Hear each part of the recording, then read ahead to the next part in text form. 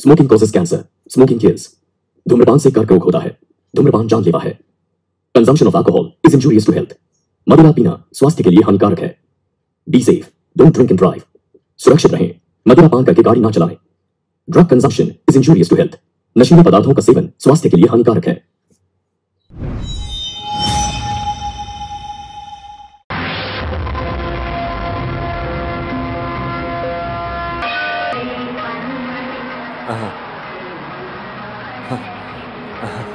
क्या बात है मास्टर साहब? मुझे पहचाना नहीं क्या? ओहो मुझे पहचान लिया। अच्छा मुन्नी अंडी हो। साहब आप रेलवे की नौकरी से रिटायर्ड होकर केरला जाने के बाद मैं भी स्टेशन से गाड़ी लाकर स्टैंड में लगा दिया। ये रे मेरी गाड़ी। आइए बैठिए। नहीं पहले मुझे काउंटर से मिलना है। कौन सा काउंटर? अपना वो पल्ली वेल काउंटर। अच्छा अपना ही काउंटर? हाँ उनको ही। रिटायर्ड होने के बाद उनके साथ बिज़नेस का पार्टनर मैं भी था। ये जो साग सब्जियों को मार्केट से खरीद कर होलसेल में बेचते थे। अच्छा ऐसा है क्या? हाँ। उसी कारण से बीच बीच में पन्नी आकर जाता इसमें कुछ अच्छा लाभ मिलता है क्या साहब? हाँ। हाँ ये काउंटर के घर ही जाएँगे साहब।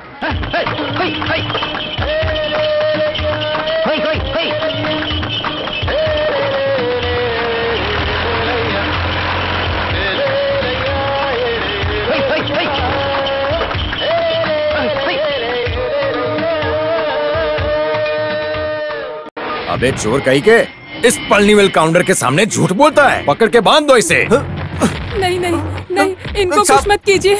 काउंटर साहब इनको मारने से मना कीजिए। मत कीजिए इसको ऐसा। कुछ किया नहीं तो ये सुधरेगा नहीं। मत इसकी तो मैं इनको रोकिए काउंटर साहब। नहीं छोड़ दीजिए इन्हें।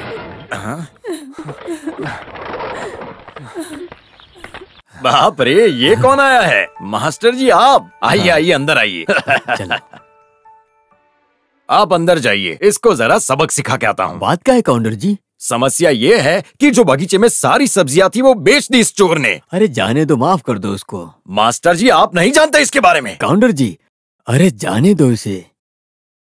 जाओ निकल जाओ। आप अंदर आइए। आइए भाई ये आपके बारे में चर्चा किए बिना नहीं रहते। आप सौ साल जी अरे भाग्यवान पहले मास्टर जी को कॉफ़ी पिलाइए। गणेश अभी बेंगलोर में ही रहता है। हाँ भाई अभी पढ़ाई खत्म करके शेयर मार्केट का बिज़नेस शुरू किया है। लेकिन अभी तक कोई भी फ़ायदा नहीं मिला है। अरे आप कॉफ़ी पीजिए ना। वैसे वल्ली हम्म। मास्टर साहब के लिए मुर्गी का सालन तैयार करो। जाओ। अरे हाँ? नहीं नहीं। दोपहर के पहले वापस चले जाने का ये सोच कर आया था मैं। आज ही? हाँ। आज ही आप जो पैसा देने वाले हैं उसे देकर चुका देंगे ऐसा आप ही ने कहा था। क्या हुआ?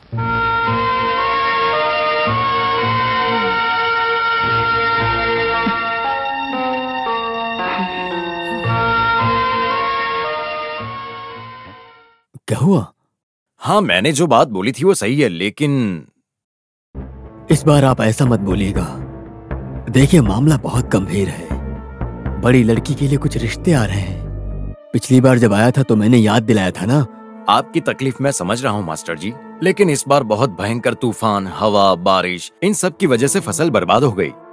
बिज़नेस पूरी तरह से नुकसान में चल रहा है। इसमें लाभ के विषय के बारे में मैं नहीं मांग रहा हूँ जो पैसे इन्वेस्टमेंट के पहले दिया था उस बारे में बोल रहा हूँ आपने माना भी था। मेरी बात समझ में आ रही है क्या? अचानक से पैसे लौटाने की स्थिति में नहीं हूँ मैं। हज़ार या दस हज़ार होगा तो ठीक था। दस लाख चाहिए ना? ऐसा मत बोलिए काउंटर जी। पूरा मत दीजिए। फ़िलहाल कम से कम थोड़ा ही दे दो। इस बार भी आप मुझे एक मौका दे दीजिए। काउंटर जी। सिर्फ़ इस बार।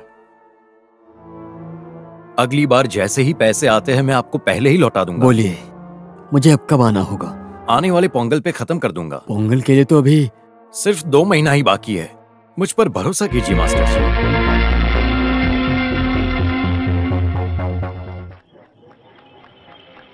काउंटर की बात पे आपने भरोसा कर लिया क्या? आपका पैसा इस जन्म में नहीं मिलने वाला। अपने केरला से कुछ छट्टा कट्टा गुंडों को लेकर आओ जो जान निकाल दे ऐसे Malayali.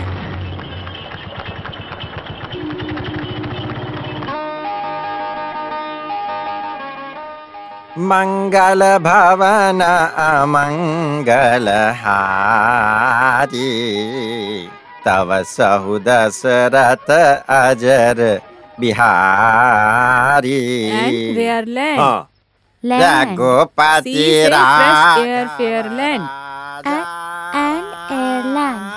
Sea, say, fresh and fair land. And C से सी से fresh and fair land. Sitaram. C से Fresh and fair land. fresh and fair land. Raghupati Raghav Raja दादाजी जो परमेश्वर की कथा सुनाते हैं उसमें से कुछ कथा मैं भी जानता हूँ। अच्छा तो तुम्हारा कान अभी भी वहाँ की बातों में ध्यान दे रहा है है ना? तो कैसे यहाँ ध्यान रहेगा? जो मैंने कविता सिखाई उसे पूरा याद नहीं किए। अगर नहीं किए तो कान के नीचे खींच के दूँगी। ठीक से पढ़ाई में ध्यान दो।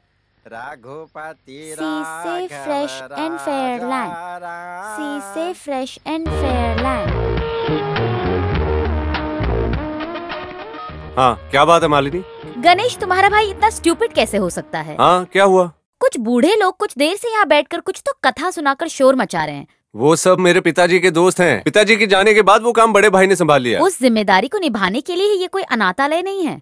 इडियट फेलो अरे तुम छोटे भाई को उनको समझाने के लिए बोलो। ओ मैंने ज्वेलरी शॉप में फ़ोन किया सतीश भाई भी वहाँ नहीं है। वैसे विमला ने फ़ोन करके बोल दिया। इस बुढ़े लोगों को शोर मचाने की वजह से बच्चे लोग ठीक से पढ़ाई भी नहीं कर पा रहे हैं। रमेश जरा सतीश को फ़ोन करके देखोगे क्या? हाँ फ़ोन करता हूँ। अगर फ़ोन लगा तो विमला को कहना समझाने के लिए। हम्म। हाँ मैं त्रिशूर तक जा रहा हूँ। बात क्या है? किसको बोलकर मैं उनको समझाऊँगा? माधव भाई से बोलने से वो मलयालम में चार पंक्तियों को सुनाकर इंसानियत का पाठ सिखाएँगे मुझे। यही होने वाला है। हम्म, तुम मालिनी को फ़ोन करो और माँ को बोलने को कहो। नहीं तो उसके लिए मैं क्या करूँगा अब? हाँ? नहीं विमला से बात कर लूँगा ठीक है?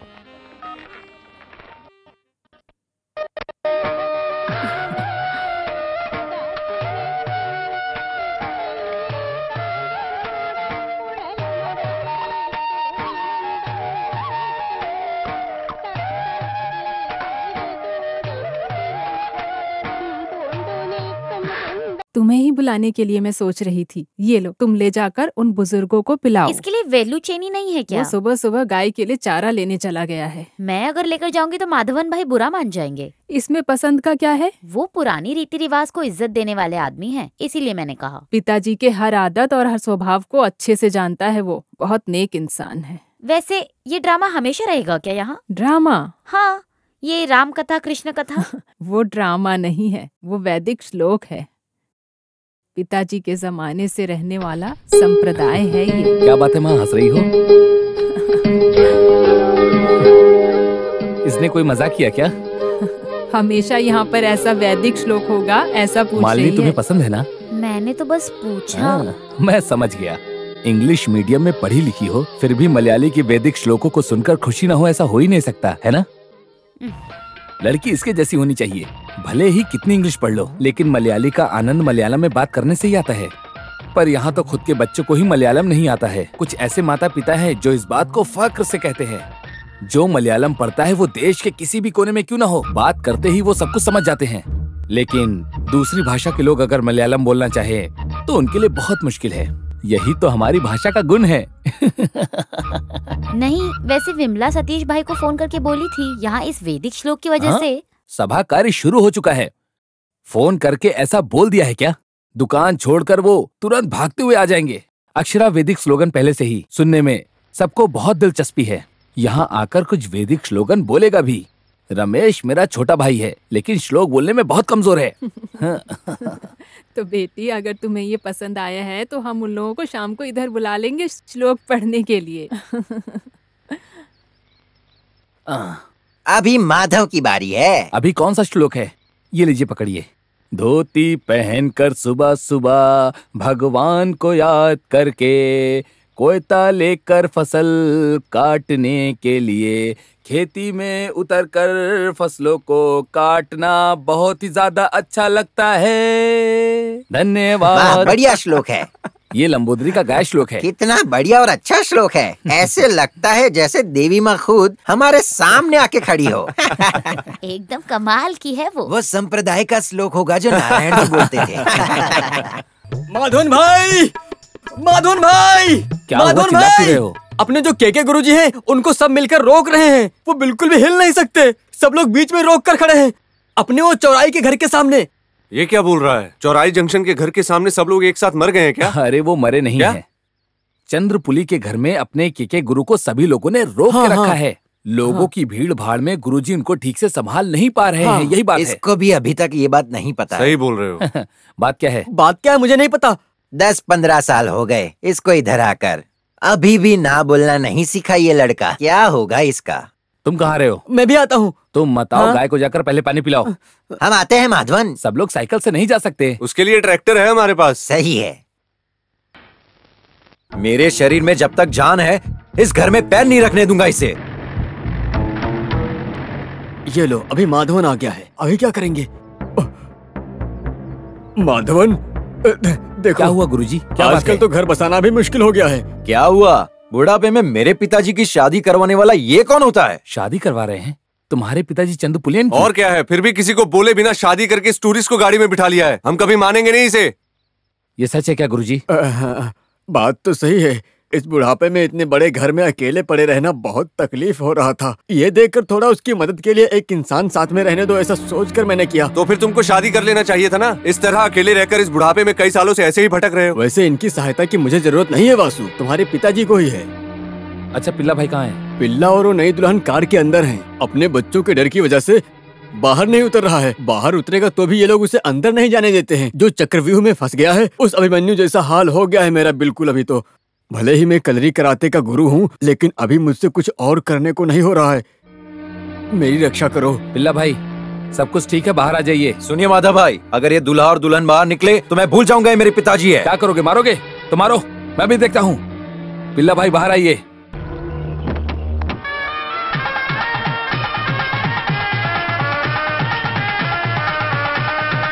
क्यों पिताजी? आप हमारे साथ ऐसा कर रहे हो? धोखा तो तुमने दिया है ना सुमिति? वो क्या है ना मेरे पति की इजाज़त के बिना मैं नहीं आ सकती। जब तुम्हारी माँ नानी दीदी मरी थी ना तब तुम तीनों भाई बहन बहुत ही ज़्यादा छोटे थे। उस समय दूसरी शादी करने के बजाय ये आदमी खेत में कड़ी धूप में मेहनत करके अपना खून पसीना बहाने के बाद तुम तीनों की बहुत अच्छे से परवरिश की और शादी भी करवाई समझे?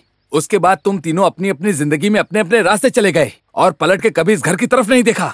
मैं जो बोल रहा हूँ वो गलत है तो गाँव वालों से क्यों नहीं पूछते? तुम जो बोल रहे हो सौ टका सही है। फिर भी इस उम्र में उनको ये सब करना शोभा देता है क्या? तो फिर अभी क्यों आई हो? हमको जो मिलने वाला हिस्सा है जब तक हमारा हिस्सा हमको बांट कर नहीं दे देते तब तक ये नहीं होने वाला। मतलब तुम्हें जायदाद की पड़ी है। इस घर का बंटवारा कर देंगे तो सब कुछ ठीक हो जाएगा है ना? हाँ थोड़ी सांस फूल रही है। वैसे घर और ज़मीन तुम्हें कोई दान में मिला हुआ हिस्सा नहीं है। ये पिल्ला भाई की खुद के मेहनत से कमाई हुई जायदाद है। समझ में आए बात? अगर इनकी मर्ज़ी है तो देंगे अगर नहीं तो फिर नहीं देंगे। ज़बरदस्ती मत करो तुम। हाँ। फिर भी ये सब बिल्कुल ठीक नहीं है।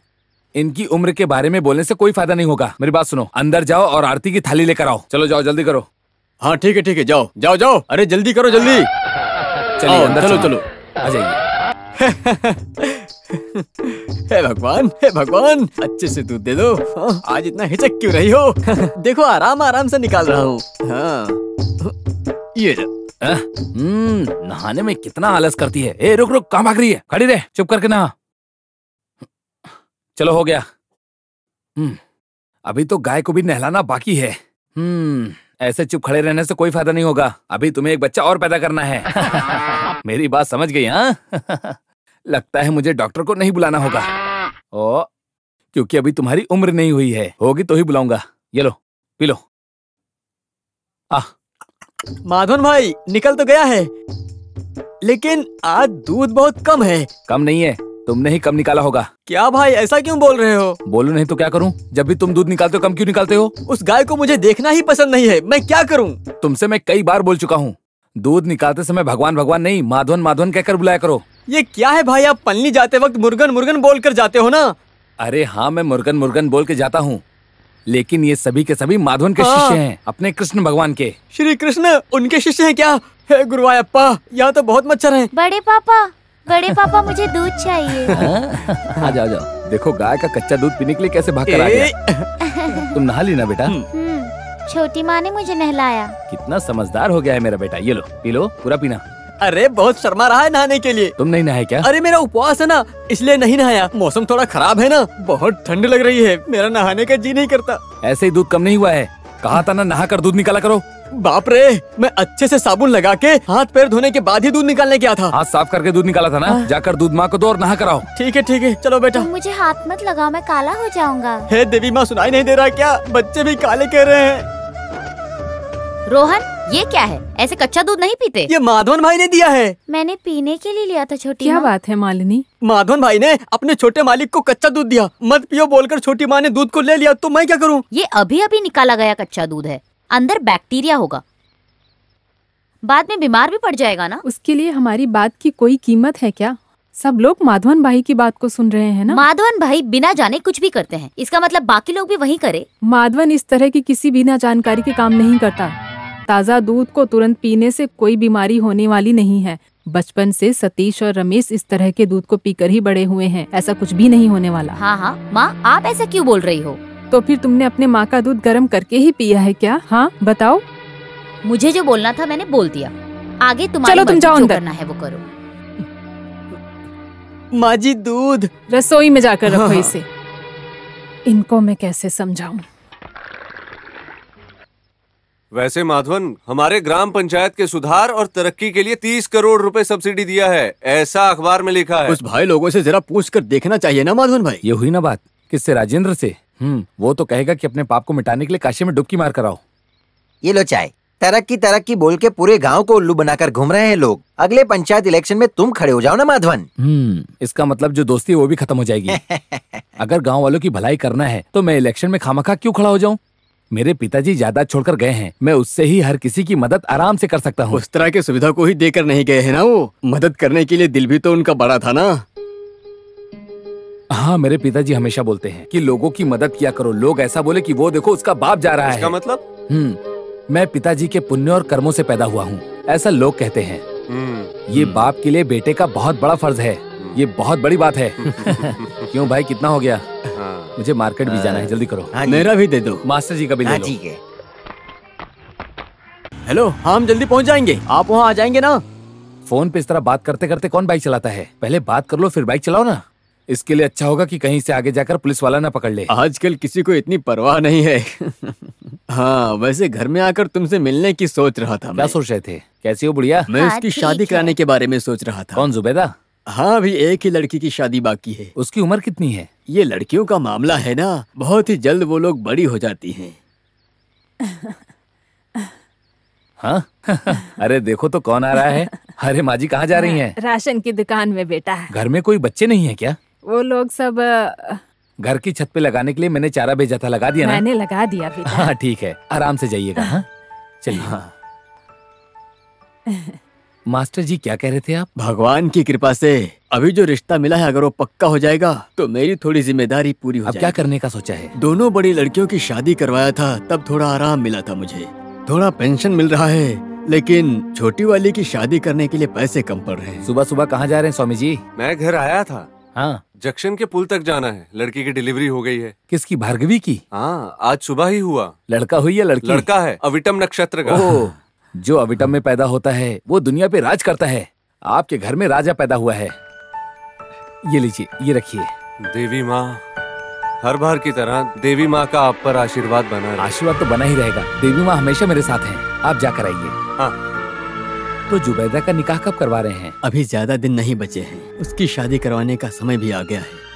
वो लोग क्या मांग रहे हैं आपसे? उन लोगों की सोने की मांग कुछ ज़्यादा ही है। बेटे के हाथ में और गले में साढ़े चार तोला है। एक पाँच छह तोला सोना खरीदने का पैसा जुटा कर रखा हूँ। और भी काम के लिए थोड़े पैसों की ज़रूरत पड़ेगी ना? इस समय तकलीफ़ दे रहा हूँ ऐसा मत सोचना। इस बार आपको मेरी मदद करनी ही होगी। सतीश से जरा आप बोलेंगे तो? बोलता हूँ। हाँ, जुबैदा भाग्यशाली है। समझिए उसका निकाह पक्का हो गया। सतीश कार लेकर यहीं आ रहा है। क्या बात है भाई? हमारे अली भाई मास्टर की बेटी का निकाह है। हम्म। अच्छा ऐसा है? उसकी शादी के लिए मास्टर जी के पास सोना थोड़ा कम पड़ रहा है।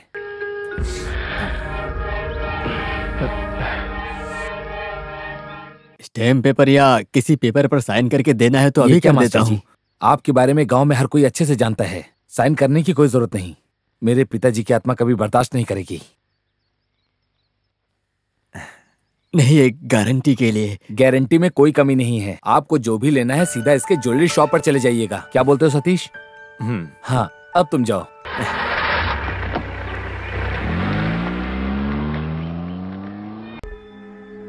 मैं कैसे मैं कैसे आपका शुक्रिया अदा करूँ? ये क्या मास्टर जी? हम सब इंसान ही तो हैं। हम सबको पढ़ा लिखा कर इस काबिल बनाने वाले केवल आप ही हैं मास्टर जी। अगर आदमी को पहचान कर उसकी मदद नहीं की तो मेरी इतनी जायदाद होने का क्या फ़ायदा सांस छोड़ने के लिए सांस ले सकते हैं, इसकी तो गारंटी है ना? सब कुछ अच्छा होगा, मास्टर जी। बस आप हिम्मत रखिए। हाँ।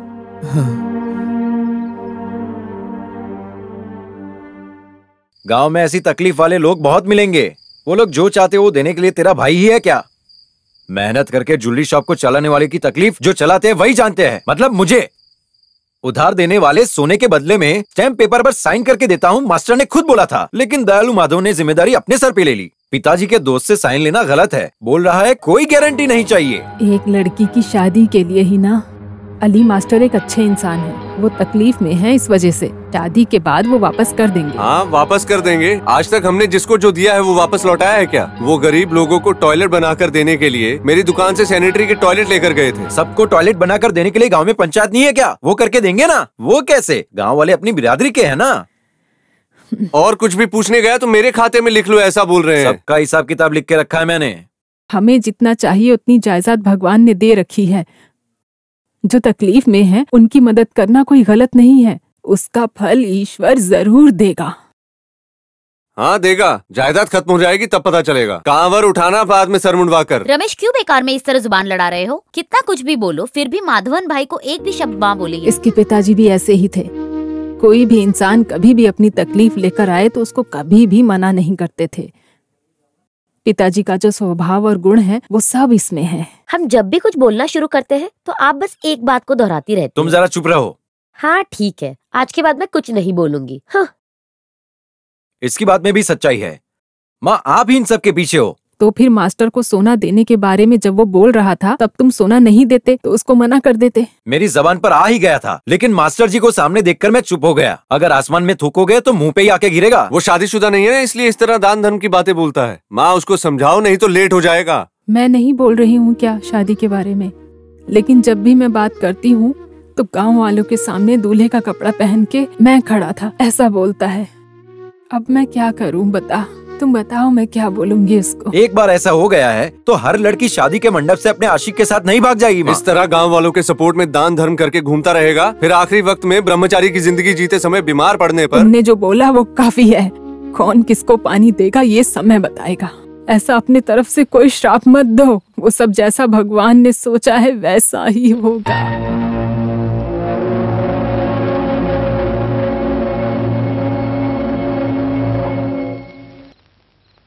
बाप रे माँ सोई नहीं है उठ जाएँगी। रुक जाओ रुक जाओ। रुको। हाँ।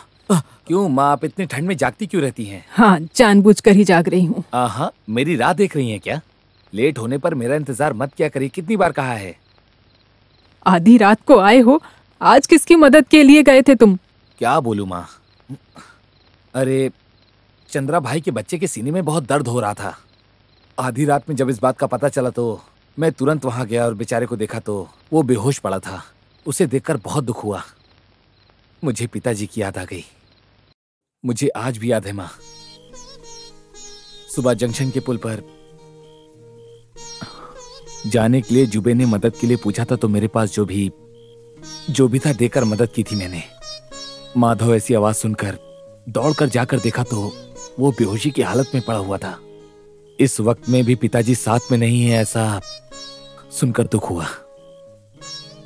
मेरी आवाज़ सुनकर ही आप जा गई थी और बिल्कुल वैसे ही उस बच्चे का बाप भी सो रहा था और बिना कुछ सोचे समझे पूरे ठंडे दिमाग से अपने इन्हीं हाथों से उसे हॉस्पिटल ले गया।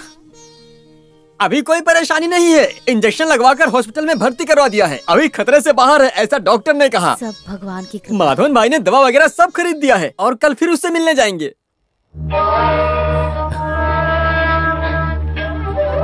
माँ मुझे ऐसे क्यों देख रही हो? तुमने कुछ खाया नहीं माँ बहुत भूख लगी है। तो फिर हाँ चलो, चलो फिर। मेरा चप्पल कुत्ता लेकर चला जाएगा इसलिए। हम्म, मारो मारो। खेलो। मारो उसे हाँ। क्या कर रहे हो? मारो ना। हाँ। और मारो। बच्चों के साथ मिलकर कोई ऐसा खेल खेलता है क्या? इस उम्र में एक दूसरे को मारो पीटो इस तरह का खेल खेलेंगे तो बड़े होकर इस देश का हाल क्या होगा? इस तरह खाना बनाकर बाहर ले जाकर देने की क्या ज़रूरत है? जो भी मेहमान हैं उन्हें अंदर बुलाकर खाने की जगह पर बिठाकर खाना खिलाओ अरे ये खाना खाने के लिए नहीं है दादी माँ। पिताजी और बड़े पापा सब लोग मिलके मेहमानों के साथ बहुत रहे हैं। चलाते हो आजकल। ओह अच्छा तो उसने ऐसा बोला क्या गलत है? बच्चों को सामने बिठाकर सब लोग इस तरह घटिया काम करेंगे तो क्या वो चुप बैठेंगे? माँ जरा आप चुप रहेंगी क्या? अगर वो लोग सुन लेंगे तो क्या सोचेंगे? क्या हो जाएगा? वो अपने भाई के दोस्त है ना? हमें इज़्ज़त करना नहीं आता। वो ऐसा सोचेंगे ना? तुम ब्रांडी पीती हो क्या? अ, नहीं। क्यों नहीं पी रही हो? जमाना बदल रहा है तो जमाने के साथ तुमको भी बदल जाना चाहिए ना? वहाँ जाकर एक पैक ब्रांडी पियो और सिगरेट भी पियो। नंद कुमार की बीवी को अगर इज़्ज़त नहीं मिली तो तकलीफ़ हो जाएगी। सच बोलो तो हमारे लिए हराम का काम है। फिर भी मुफ़्त में हासिल होने वाली ये विदेशी दारू जो मिली है उसको पिए बिना ना रहने से हमारी ज़िंदगी में सुधार नहीं आएगा। ज़बरदस्ती पीना पड़ रहा है। और मैं बीच में इस तरह की डील के काम के लिए कितना कुछ मीटिंग किया है पता है? लेकिन जब देश चल रहा है साथ में मिलकर हम नहीं चलेंगे। सुनो तुम लोग नंदू का दोस्त होने के नाते मैं एक सच बताता हूँ। अभी जो रोड बनने वाला है, उसे नंदू के खेत के तरफ़ मोड़ कर लेकर आने जैसा गवर्नमेंट ऑफ़िस में और ग्राम पंचायत और जिला पंचायत में क्या क्या खेल नहीं रचाया इस राजेंद्रन ने। तो वो गाँव की भलाई या सेवा के लिए उतरता है क्या? वो लोग जो मांग रहे हैं, उन सारी जरूरतों को देकर हम्म पूरा कर देंगे ऐसा ऑफ़र देने की वजह से ही अभी इस तरह का रोड यहाँ पर बनने जा रहा है। मेरा भाई राज़ी होगा कि नहीं मुझे शक है। हाँ वो पुराने जमाने का आदमी है। उसकी उम्र से बड़े लोग ही उसके दोस्त हैं। ये बार होटल खोलने के विषय में पार्टीशन हमारे बीच में नहीं हुआ। हाँ ये हुई ना बात। ज़रूरत पड़ने पर क्लू देने के लिए औरत की अकल बहुत ज़रूरी है। तुम दोनों तो बस हमारे साथ खड़े रहो वही बहुत है। बाकी सब तो मैं संभाल लूँगा। क्या बोलते हो राजेंद्रन भाई? हाँ। वैसे तुम्हारे ऊपर माधवन को पूरा भरोसा है। तुम्हारी बात को ज़रूर मानेगा। लगता है। वो आ गया है।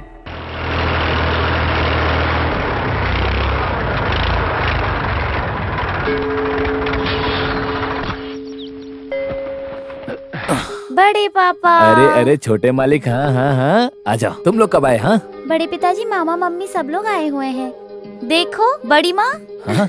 सब लोग एक साथ ही आ गए। कोई खास बात है क्या? आपसे मिलने के लिए खास वजह की क्या ये भी ज़रूरत? सही है। तुम्हारे छोटे बच्चे कहाँ हैं? कोचिंग चल रहा है ना इसलिए दोनों को लेकर नहीं आई। मैथ और फिजिक्स दोनों में कमज़ोर है। मैथ और फिजिक्स में कमज़ोर होने का सवाल ही नहीं उठता क्योंकि तुम्हारे बच्चे हैं ना। है मामा जी उसमें भी कमज़ोर है वो।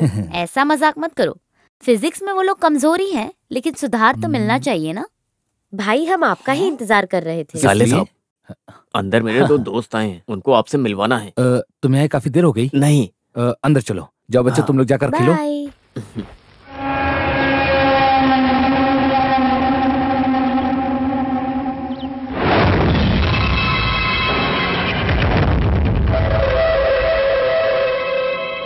साले साहब ये कॉन्ट्रैक्टर हैं Amit sir. Financing share marketing exporting एक बहुत बड़ा शौक है। अरे ऐसा कुछ नहीं है। मैं तो बस जीने के लिए छोटा सा धंधा ये करता बोलने के लिए ये ऐसा बोलते हैं। हाँ। बॉम्बे से लेकर दुबई तक ये हाँ। हमेशा उड़ते ही रहते हैं। ऐसे आदमी हैं और वैसे ये hello I am Tobias engineer Tobias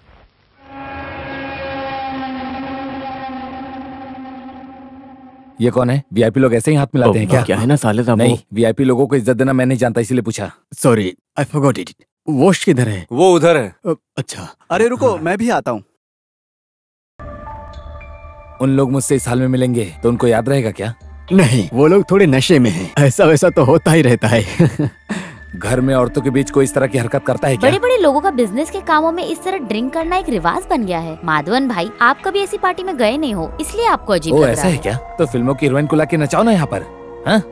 हम्म, अगर तुम लोगों को किसी बिज़नेस के बारे में बात करना है तो किसी बड़े होटल में जाकर बात क्यों नहीं करते? ये घर एक मंदिर है।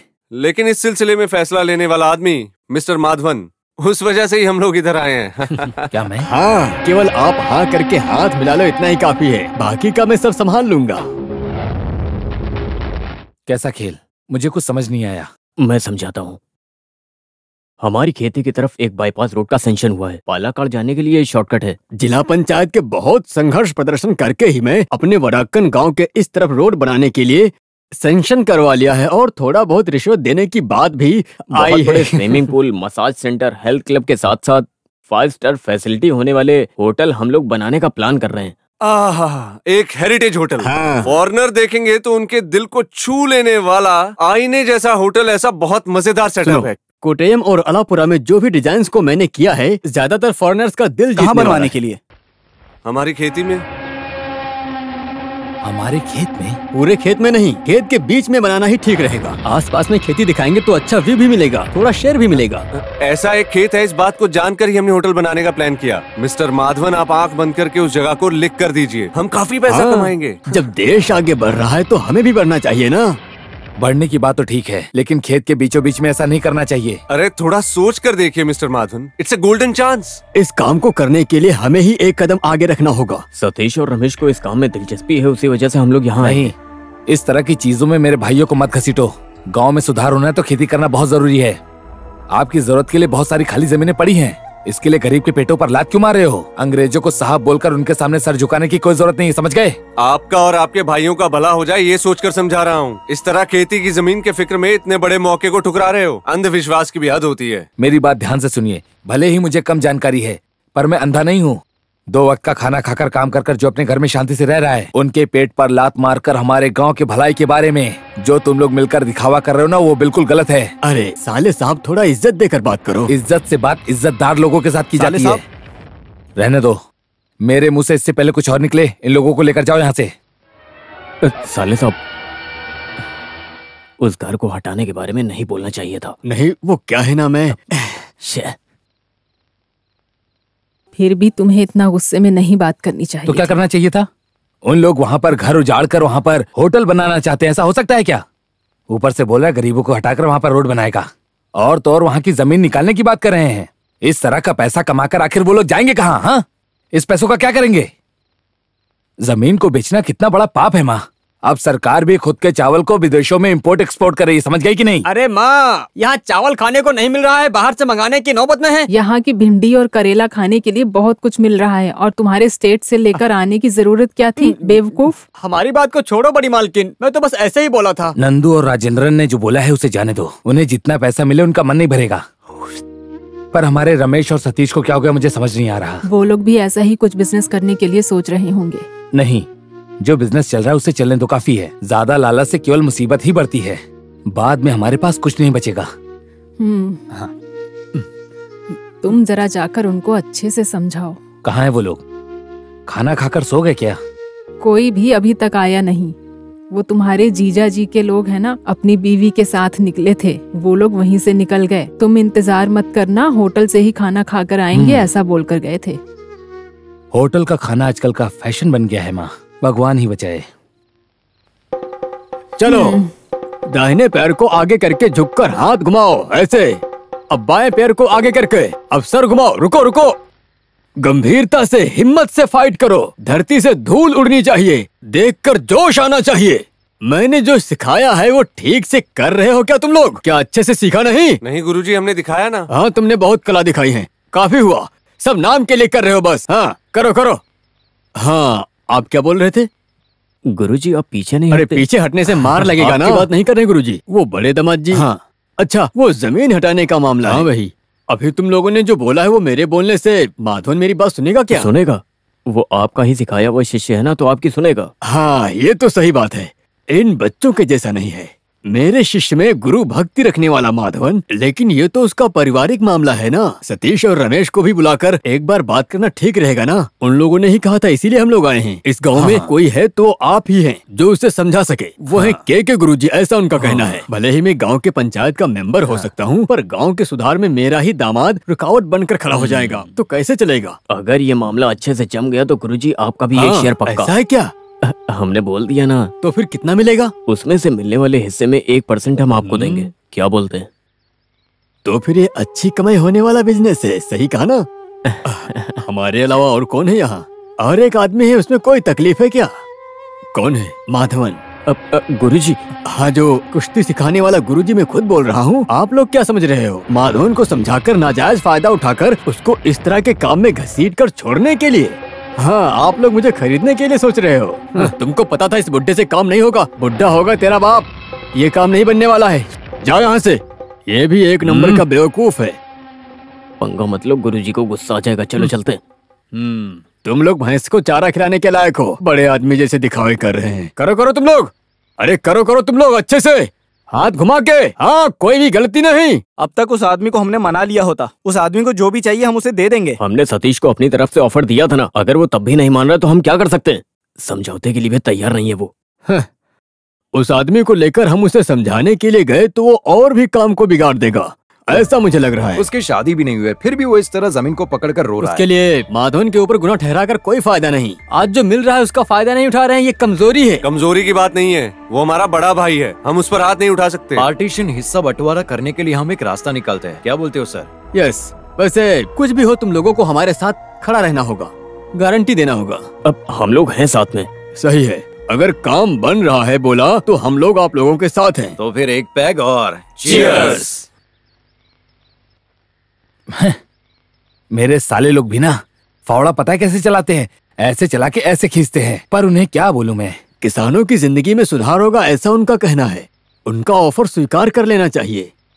हाँ रिश्तेदारों की ना समझ से रिश्तों में दरार पड़ जाती है ऐसा एक किसी महान इंसान ने कहा है। हमारी बातें समझ में नहीं आ रही। जिसके पास बुद्धि होती है वो बेवकूफ़ से दोस्ती नहीं करते।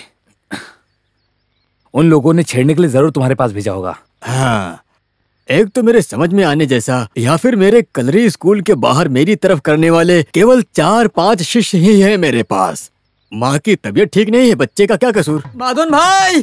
माधवन भाई! माधवन भाई! हाँ मैल चिल्लाते हुए आ रहा है। लगता है तुम्हारा कोई काम बिगड़ने वाला है। भाई हमारी उस ज़मीन में कोई जंजीर लगाकर माप ले रहा है। खेत में कोई सीने पे बैठ कर मार रहा है क्या? सीने में नहीं जंजीर! अच्छा। हमारी ज़मीन पर भला कौन माप ले रहा है? पता नहीं भाई जल्दी आइए। भाई चलिए जल्दी चलिए जल्दी करिए जल्दी।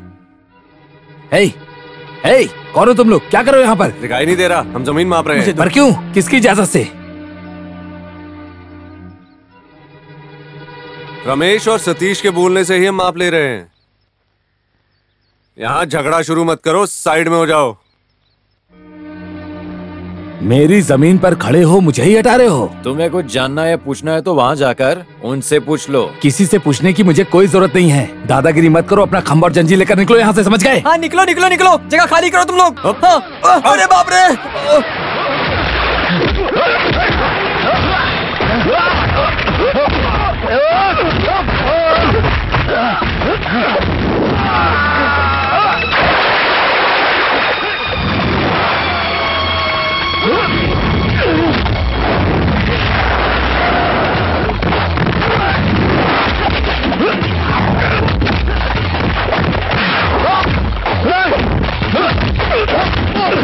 Whoa!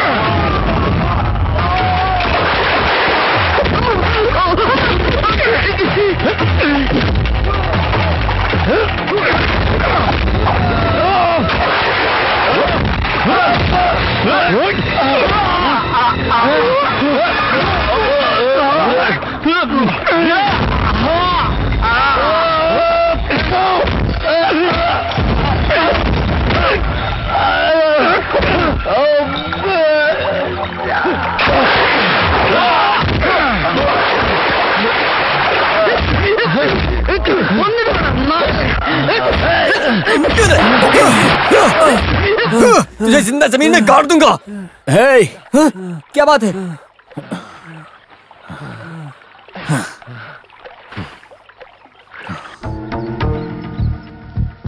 कुछ भी बोलो उन लोगों को मारना ठीक नहीं है। जिस ज़मीन पर हमने खून पसीना बहाया उस ज़मीन से वो लोग हमें हटाने के लिए बोल रहे थे। अगर बोल दिया तो मारने के लिए निकल जाओगे। उसी ने पहले माधवन भाई को मारा था। हमारा यहाँ क्या काम है? बाहर जाओ।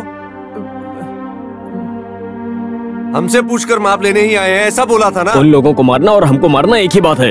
इस घर में कब से हमारा तुम्हारा हो गया? मुझे पता है ये सब किसका खेल है। बड़े लोगों का नाम लेकर सीना तान कर चलने वाले लोगों को मैं अच्छे से जानता हूँ। वो गरीबों का खून चूसने वाले एक नंबर के भेड़िए हैं। हमें मिटाने के लिए ही वो एक साथ मिले हैं। इंसान को परख निकलिए भाई आप हमें मत सिखाइए। अपना काम निकालने के लिए अगर कोई दो आँसू की बूंदे बहा दे तो उसका भरोसा कर लेते हो। सतीश। तुम चुप रहो माँ। आप हमेशा अपनी मनमानी के हिसाब से चलती रहती हो। ये कुछ भी करे कोई इनसे कुछ बोलता भी नहीं है। उस दिन उन लोगों के सामने जब नंदू को बेइज्जत कर रहे थे तब भी मैंने सोचा था कि अब आगे से इस चौखट पर पैर नहीं रखना है। लेकिन इसमें मेरा भी हक है। किस लिए ऐसे सबको एक साथ सर पे बिठाकर घूम रहे हो? बंटवारा करके सबको हिस्सा दे देना चाहिए। दान धर्म ही करना है तो अपनी ही ज़मीन में से दे दो ना। हमारे हक की ज़मीन क्यों देते हो? नहीं। आगे तुम एक शब्द भी मत बोलना। वो लोग जो मांग रहे हैं इसमें गलत क्या है? बड़े बुद्धिमान जैसा हूँ ऐसा सबको क्यों अपने सर पर लेकर घूम रहे हो? माँ आप ये हाँ ये माँ ही बोल रही है। अभी मेरी बात को सुनकर हैरान मत हो। कुछ दिनों से ही ये बात तुमसे बोलने की मैं सोचकर दिल में दबा कर जी रही हूँ। जिनको जो जो देना है बंटवारा करके दे दो और तुम यहाँ से कहीं चले जाओ। मुझे थोड़ा तो चैन दे दो।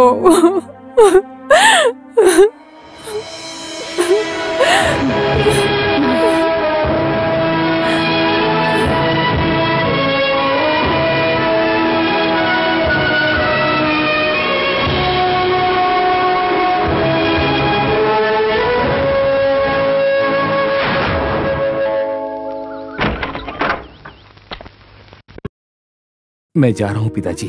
जब हमारे अपने भाई बहन ही इस जायदाद के लिए मुँह फेर रहे हैं तो ऐसी जायदाद का मैं मैं क्या करूँगा पिताजी? ये सब उन्हें लेने दो। आखिर हम सबका खून का ही रिश्ता है, इसलिए मैं जा रहा हूँ। मैं यहाँ हूँ तो माँ के मन को शांति नहीं मिल रही। उन्होंने बोला है तो मुझे जाना होगा।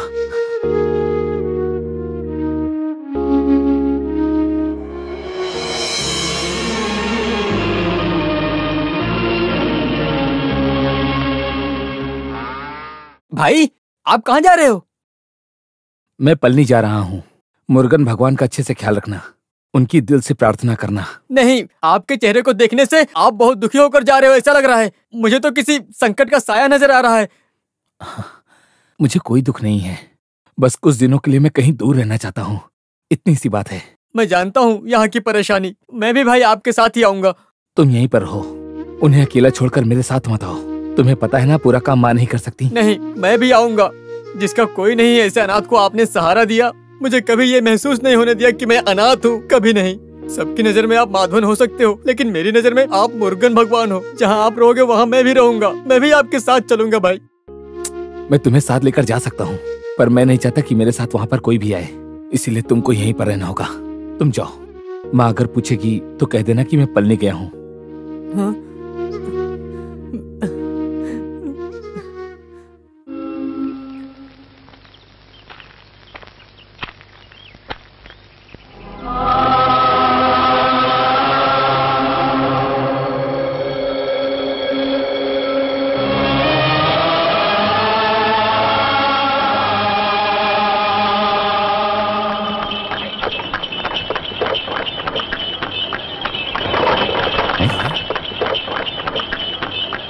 रुको गाड़ी रुको।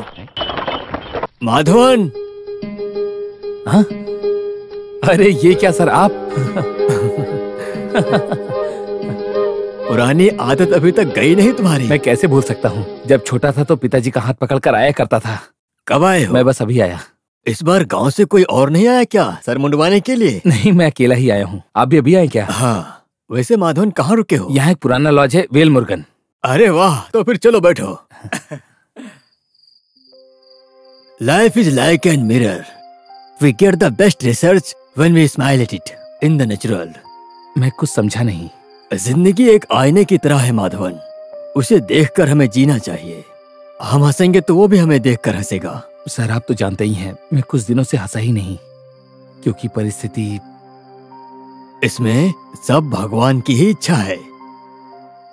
देखो ऐसे में सबको छोड़कर जाने से किसी को कोई फ़र्क नहीं पड़ेगा। हमें ये नहीं चाहिए ऐसा सोचने से भी जो किस्मत में होता है वो। चाह कर भी हम उसे नहीं बदल सकते हैं। ना चाहते हुए भी जो मिलने वाला है वो मिलेगा ही। हम किसके लिए जी रहे हैं? मेरी खुद की माँ ने मुझे दूर जाने के लिए कह दिया। फिर किसके लिए जीऊं? उन्हें छोड़कर आने का मेरा दिल नहीं था। अरे ये क्या है? मेरे दुख को देखकर हँसी मज़ाक से त्रिपुरल पंक्ति बोलकर हौसला देने वाला माधवन है तू? ऐसे अपने दिल को छोटा करोगे तो ऐसा कुछ नहीं है। डर को पीछे छोड़कर आया हूँ इसीलिए दुख थोड़ा कम हो गया है। और आपसे खुलकर बात करने के बाद दिल को शांति मिली। हम्म चलो। तुम जानते हो क्या? तुम्हारे जैसा लड़का मुझे चाहिए था ऐसी इच्छा थी मेरी। हाँ वैसे तुम्हारे पिताजी बहुत खुशकिस्मत थे। कल तुम्हें भी मेरे साथ में आना है काउंटर से मिलने के लिए। कल पैसा मिलेगा इसकी गारंटी है क्या? हाँ गारंटी है। काउंटर ने आखिरी मोहलत दिया है ना? बेटी की सगाई तय हो गई इस बात को भी बोला हूँ मैं। दो दिन पहले ही वो आदमी मंदिर में परिवार के साथ आ जाएगा। प्रार्थना की मेरे लिए प्रार्थना की या नहीं? हाँ?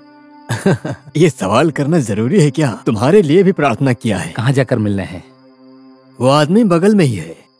आदमी ज़ुबान का पक्का है। लेकिन काउंटर की बात सुनकर मैंने मना कर दिया। काम के बन जाने के बाद सूचित करो ऐसा लड़के के पिताजी ने कहा था। लेकिन किसी तरह की ज़बरदस्ती नहीं करनी चाहिए ऐसा सोच रहा हूँ। आजकल के बच्चे लोग ऐसे ही होते हैं। सच कहूँ तो ये दहेज के मामले में वो काफ़ी नाराज़ हैं। मेरे ज़बरदस्ती की वजह से ही वो मान गई है। किसी की रहम और दया दिखाना उसे बिल्कुल भी पसंद नहीं। स्वाभिमानी है वो। अपना स्वाभिमान बहुत अहम होता है। सर आपका अबे क्वार्टर लाकर रूम पर रखा हूँ। हाँ सर। ठीक है। हम्म, वो अकेला हूँ ना थोड़ा ठंड भी है तो। हाथ पैर के ठंड को भगाने के लिए एक दो पैक। हाँ, ठीक है सर कोई बात नहीं। हाँ मिलते हैं फिर। ठीक हाँ, है।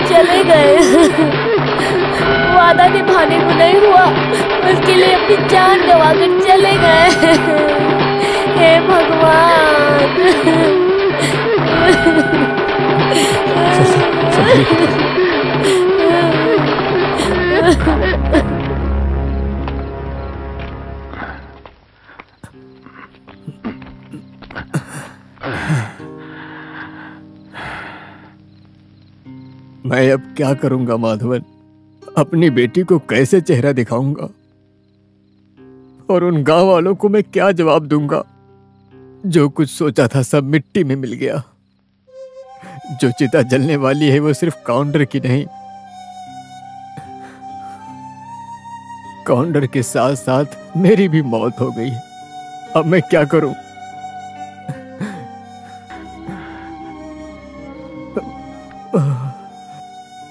मेरे पास अब कोई रास्ता नहीं है माधवन।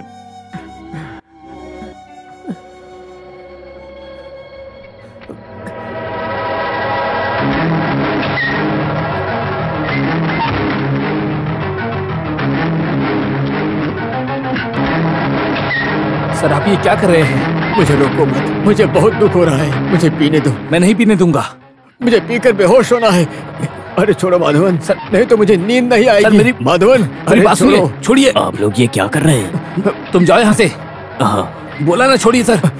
माधवन आपको क्या लगता है इसे पीने से आपका दर्द खत्म हो जाएगा? तो पी लीजिए। सर आपकी परेशानी क्या है? कि आपकी बेटी की शादी हो जाए। बस इतना ही ना? वो हो जाएगी। माधवन? हाँ। ये आपका माधवन ही बोल रहा है। आपको कितने पैसों की ज़रूरत है? बोलिए ना। नहीं माधवन। मैंने पहले ही शादी के लिए बहुत सारा उधार ले लिया है। आपको किसी से मांगने की ज़रूरत नहीं। फिर? आपको जो पैसा मिलने वाला था समझिए मिल गया। ठीक है? लेकिन वैसी बात नहीं है। मैं क्या बोल लेकिन रहा हूँ? लेकिन कुछ नहीं। अगर आपका मन है तो थोड़ा सा पी लीजिए आपको अच्छा लगेगा। सब ठीक हो जाएगा। कल मिलते हैं।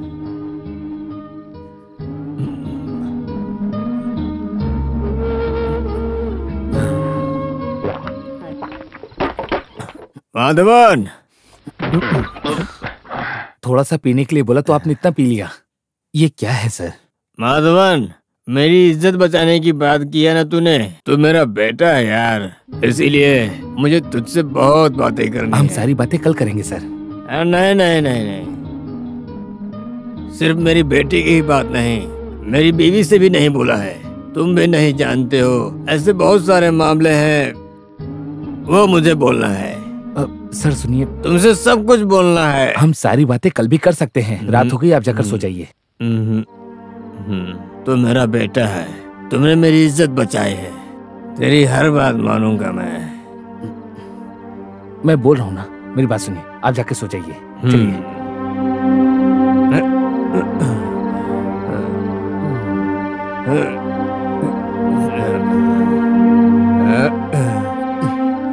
संभाल के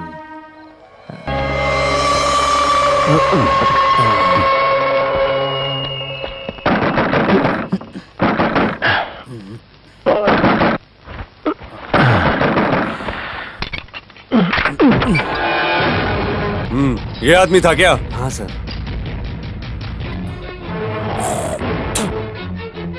क्या बात है सर? तेरा नाम माधवन है क्या? हाँ सर। तामिल है? नहीं सर मलयाली हूँ। हम्म मेरे साथ चलो चल। ये शर्ट बाद में पहनना। अभी चल। अरे चल।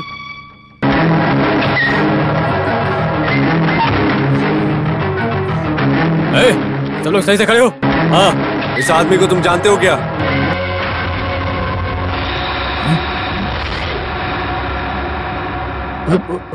मास्टर जी। अंदर नहीं जाना। इस आदमी को और तुम्हारा कोई झगड़ा हुआ था? झगड़ा? नहीं सर ये मेरे पिताजी के बराबर पिताजी के बराबर? अन्ना दुराई बॉडी को पोस्टमार्टम के लिए हॉस्पिटल भेजो। तुम मेरे साथ आओ। इसलिए सर? सवाल कर रहे हो? चलो स्टेशन। चोरी करोगे? सर सर मैंने कुछ भी गलत नहीं किया। मेरा भरोसा कीजिए। मैंने उन्हें नहीं मारा। चुप कर आरामखोर।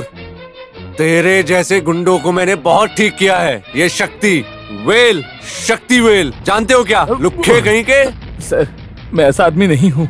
मेरा भरोसा कीजिए। भरोसा करता हूँ। पोस्टमार्टम की रिपोर्ट आने दो। बाद में तुम पे भरोसा करना है या नहीं, इसका फैसला लेता हूँ। सेंदिल, इसको अच्छे से संभालना। क्या देख रहा है? चल अंदर, चल। पड़ा रहे अंदर। मेरे सामने ही नाटक करता है। हाँ?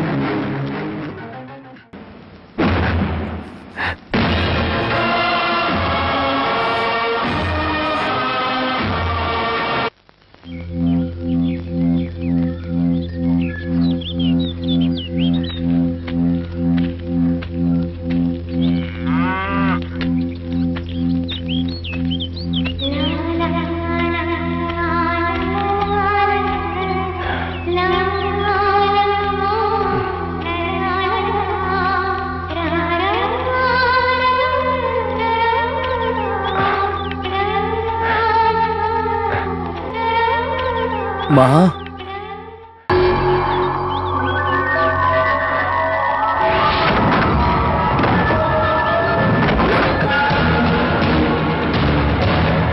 माँ?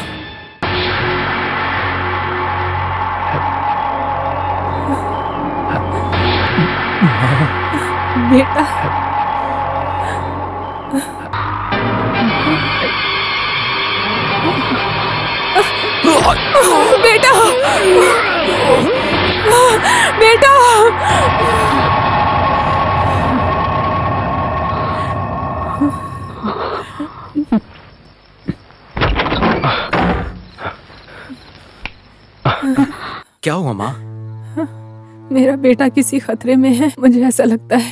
नहीं तो बार बार मुझे ये सपना क्यों आता? क्या सपना दिखा? मुझे ऐसा लगता है मेरे बेटे के ऊपर कोई हमला कर रहा है। बेवजह हर वक्त उसके बारे में सोचती रहती हो ना उसकी वजह से। अभी तक आया नहीं वो। ऐसे कैसे कहाँ चला गया है? हम बाहर जाकर ढूंढ कर देखते हैं। भाई कोई छोटे बच्चे थोड़े पहली बार ही थोड़े बाहर गए हैं। उनका घमंड टूटने के बाद वो अपने आप आ जाएँगे। माँ चुपचाप सो जाइए। भगवान मेरे बेटे की रक्षा करो। सर।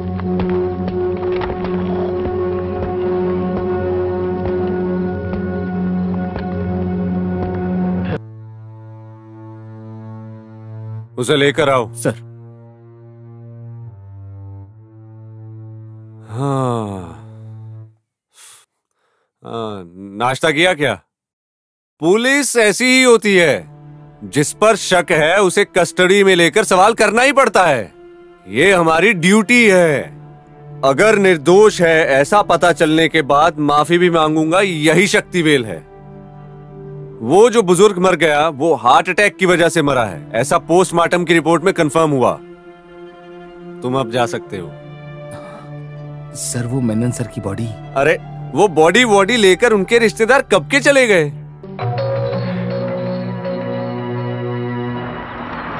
हाँ काफ़ी समय हो गया, देखा तो। उर्मंगलम उर्मंगलम चलो चलो जल्दी चलो उतरो उतरो। अच्छा। ये जो कपड़े हैं कपड़े कितने के दिए नहीं नहीं नहीं। अरे केवल अपने बच्चे के लिए।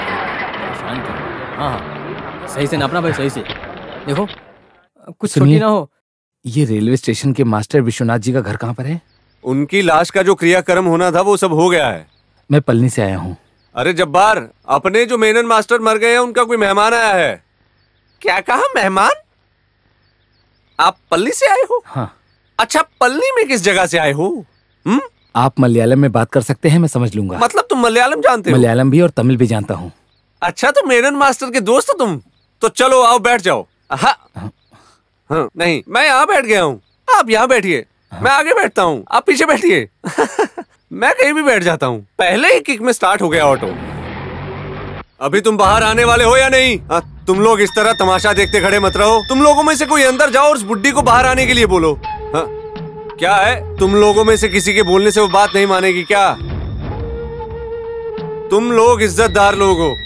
बाद में मत बोलना कि जॉर्ज घर में घुसकर शोर मचा रहा है। ऐसी शिकायत मत करना। बेटी तुम कहीं मत जाना। तो क्या करूँ? वो मनमानी करता रहेगा और हम सुनते रहें? वो कोई हमारा सरकार और हम उसके गुलाम नहीं हैं। कृष्णवरिया मास्टर को आने दो। हिसाब के बारे में बात कर लेंगे। क्या बात है? कोई कुछ बोल नहीं रहा है। तुम लोग बुला रहे हो या हम उसे बाहर निकालें? हम्म? मास्टर का कोई रिश्तेदार उनको बुलाने गया है ना? अच्छा। उनकी छोटी बेटी गई है क्या? हम्म, आने दो। साइड हो जाओ। साइड हो जाओ। साइड हो जाओ।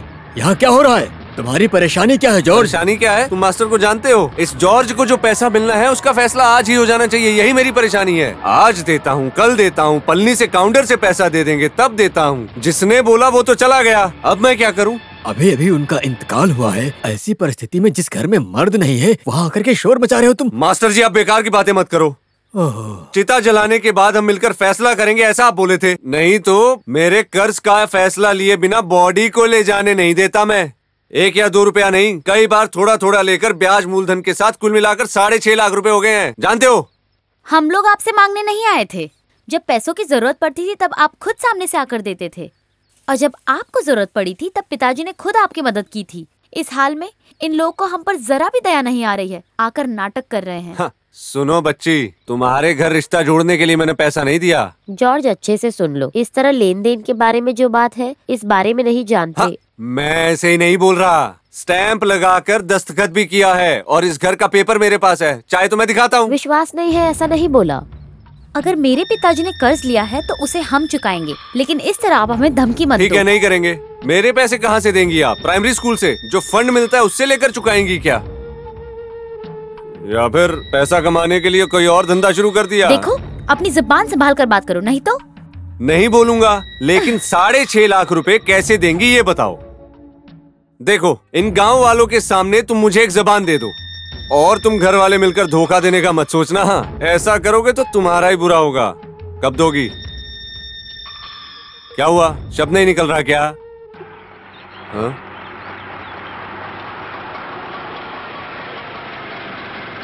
अरे देखो देखो अब फ़ोन आया? हे भगवान यहाँ तो पूरे गाँव वाले एक साथ खड़े हैं। यहाँ पर जब देखो तब कोई ना कोई लफड़ा होता रहता है। ये लो पल्ली हाँ। से तुम्हारे मेनन मास्टर के दोस्त आए हैं।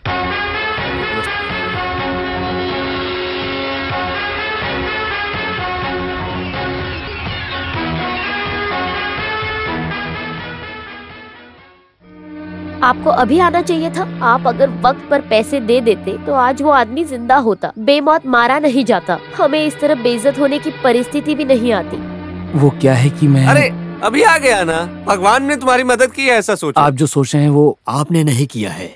मैंने ना आपके ऊपर बहुत विश्वास करते थे। काउंटर आपके पैसे मिलने के बाद हर रस्म को पूरा करके मीरा की शादी करना चाहते थे।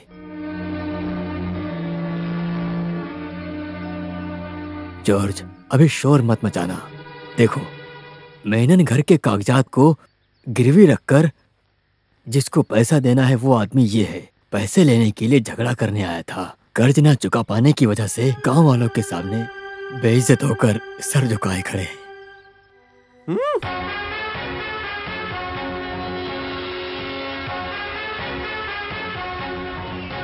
वैसे आप जो बोल रहे थे वो इस आदमी के दिमाग में ठीक से घुसा नहीं है ऐसा लग रहा है। तामिल में समझाओ क्या उसे। समझाना है? काउंटर बहुत अच्छे मलयाली बोलते हैं। इनका मलयालम नहीं सुना? तो क्यों अपना मुँह नहीं खोल रहा है, है? आपको जो पैसा देना है वो मैं दूँगा। लेकिन फ़िलहाल के लिए मुझे थोड़ी और मोहलत चाहिए। मोहलत चाहिए कितने दिन के लिए? मैं गाँव जाकर आता हूँ। ठीक है तुम वापस नहीं जाओगे तो भी चलेगा। इन सबको घर से निकाल के घर को अपने नाम करवा लूँगा। मेनन सर के परिवार पे मैं किसी भी तरह की मुसीबत नहीं आने दूँगा। नहीं अभी आप कहीं आने जाने की बात मत करो। पिताजी आप पर भरोसा कर कर यहाँ से गए थे। आपके आने तक मैं इंतज़ार नहीं कर सकती। पैसा लेने के लिए कहाँ जाना है? मैं भी साथ चलूँगी। बेटी ये तुम क्या बोल रही हो? ये आदमी वापस आएगा इसकी क्या गारंटी है? देखो मेरी बात मानो इसके पैसे लौटा दो। इसकी बात में भी एक न्याय है। देखिए ये ठीक नहीं होगा। क्यों ठीक नहीं होगा? अ, वो क्या है कि आप लोग साथ में आएँगे तो ठीक नहीं होगा। मैं कहीं नहीं जाऊँगा ठीक है? तुम जाओगे या आओगे मैं नहीं जानता। मुझे मेरा पैसा चाहिए। मैं आपका पैसा चुकाने के बाद ही यहाँ से जाऊँगा। विश्वास नहीं हो रहा है जॉर्ज के पास विश्वास की कोई कमी नहीं लेकिन ज़्यादा से ज़्यादा एक हफ़्ता। लेकिन उसके बाद मुझसे ना होगा काउंटर भाई। आप इस तरह की जिद मत कीजिए जॉर्ज भाई। अगर ज़्यादा हुआ तो ब्याज मिला कर दे दूँगा आपको ठीक है? चलेगा लेकिन नहीं दिया तो? तो फिर मिलते हैं। गाड़ी निकालो। अभी आगे पूरा पैसा चुकाने तक। सब लोग अपने घर में जाइए जाइए। देखा?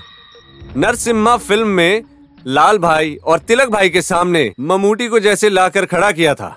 उसी तरह से सही वक्त पे काउंटर को लाकर पहुँचाया ना? इसे कहते हैं जब्बार। अगर आपको इनाम देगा तो जब्बार छोड़ेगा नहीं। हाँ। सही वक्त पर पैसा नहीं देगा तो इसको कैसे इनाम देना है ये मैं जानती हूँ। काउंटर जी धोखा मत दो।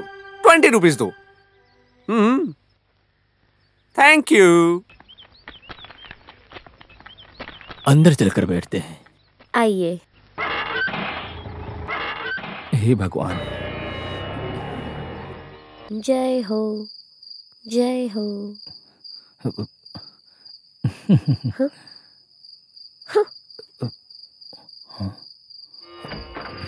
उस आदमी को इस घर में रखने की क्या ज़रूरत थी? हमारे घर में मेहमान आया है तुम्हें ऐसा बोलना चाहिए क्या? वो किस लिए आया है ये कौन जानता है? ऐसे ही किसी अनजान इंसान से तुम्हारे पिताजी दोस्ती करेंगे ऐसा तुम लोगों को लग रहा है क्या? मेनन सर के परिवार को इस तरह दुख में देखा नहीं जा रहा है। उसने ऐसा बोला तो मेरी आँखों में आँसू आ गए। माँ आप भी ना पैसा देता हूँ बोलकर धोखा देने वाले आदमी पर भरोसा कर रही हो। धोखा देने वाला आदमी होता तो इतना दूर आता क्या वो? इस पूरे कर्ज को कोई चुका पाएगा क्या? वैसे हम जो खाना खाते हैं ये खाना खाना काउंटर खाएगा क्या? और क्या है? घर में एक आदमी होने पर उसे भूखा रखकर हम कैसे उसे अगर चाहिए तो कहीं भी जाकर खा ले बाप रे वो कैसे हो सकता है बेटी? ऐसा वैसा कुछ भी नहीं है। उस आदमी से ज़्यादा हमदर्दी मत दिखाओ। पैसा देने तक हमने उसे किराए पर रखा है ऐसा सोच लो। हम्म, प्रभु कृपा से सब काम हो रहा है। हे भगवान। मेरा आपकी कृपा से सब काम हो रहा है। कहते हो तुम कन्हैया मेरा नाम हो रहा है। मेरा आपकी कृपा से सब काम हो रहा है। मेरा आपकी कृपा से सब काम हो रहा है। मीरा? बेटा मीरा? जरा इधर आओ। इधर आओ। क्या बात है माँ? जरा उस माधवन को देखो। ए तुम क्यों गाय का दूध निकाल रहे हो? इस बर्तन को देखते ही लगा कि इसमें दूध निकाला जाता होगा। इसीलिए मैंने इसमें दूध निकाला। है कि नहीं?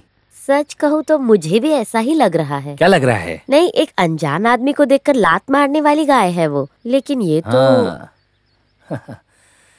जिसके पास प्रभु की महिमा हो वो अंधेरे में भी उजाला कर सकता है। इंसान होने के नाते किसी भी जीवित प्राणी को प्यार दिखाएँ इतना ही काफ़ी है। हम जो भी बोलते हैं वो सुनते हैं। वैसे नाम क्या है मुझे समझ नहीं आ रहा मैं क्या कहकर बुलाऊं? भारती नाम हाँ? है। लगता है भारती की तबीयत ठीक नहीं है इसीलिए उसने कम दूध दिया है। अरे भारती मेरा नाम है। अरे बाप रे मुझे माफ़ कीजिएगा। मुझे लगा भारती गाय का नाम है। उसका नाम अम्मू कुट्टी है। हाँ अम्मू कुट्टी की तबीयत थोड़ी खराब है और इसकी वजह है कि कोई अपना मलमूत्र बर्दाश्त कर सकता है क्या? किसी को पसंद आता है क्या? नहीं। हमें ही नहीं जानवरों को भी नहीं पसंद आता। घर में लड़कियों के रहने का क्या फ़ायदा फिर? आँगन में इस तरह का मलमूत्र पड़ा रहेगा तो इसका दोष इंसान और गाय को दोनों को लगेगा। इसीलिए अम्मू कुट्टी के तबेले को सही से साफ़ करना चाहिए। वैसे अभी अभी जो मैंने कहा वो बात आप तो समझ ही गई होंगी है ना? ये काउंटर है या दूध निकालने वाला? सुनो जरा रुको। हाँ। वैसे तुम दूध निकालने और तबेला साफ़ करने आए हो यहाँ। जितना जल्दी हो सके उतना जल्दी पैसे देने के बारे में सोचो। हम्म। हे मुर्गन भगवान। हर हरो हर हरा। माँ। माँ मैं जा रही हूँ। हाँ, मीरा जी पारुल कॉलेज जा रही हैं क्या? नहीं कोड़े कनाल जा रही हूँ। ऐसे गुस्सा मत कीजिए एक बात बोलने आया था। क्या है? ये लीजिए। ये क्या है? ये एक लेटर है। आपको तो मानना पड़ेगा। इसी बात को दिल में रखकर तुम यहाँ से नहीं जाओगे है ना? यही बात है ना? लेकिन इस मीरा के पास ये खेल नहीं चलेगा। मुझे तुम ठीक से जानते नहीं हो। रुको रुको। ये तुम क्या बोल रही हो? तुम टाउन जा रही थी इसलिए पोस्ट करने के लिए कह रहा था। पैसे का मामला सॉल्व करने के लिए ये लेटर मैंने अपने दोस्त को लिखा था। लड़कियों को शक नहीं करना चाहिए। जहाँ मर्द होते हैं वहाँ तो बिल्कुल नहीं। मदद करने वाले का गला दबाना तो स्वभाव में है। लड़कियाँ हमेशा ऐसी ही होती हैं। अरे बिना वजह जाने मैंने कुछ भी बोल दिया। उस वजह से मेरे ऊपर ज़्यादा इल्ज़ाम मत लगाओ। लाओ मैं पोस्ट कर दूँगी। पैसे के लिए है ना? पैसों की ज़रूरत हमें भी है। नहीं इसे पोस्ट करने की कोई ज़रूरत नहीं। ज़ुबान दिया है तो उसे मैं पूरा करके ही रहूँगा।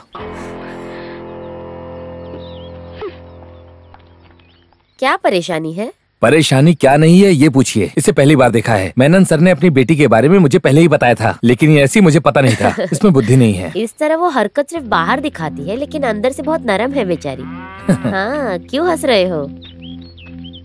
कुछ नहीं माँ जी। मेरी माँ मुझे भी ऐसे ही बोलती हैं।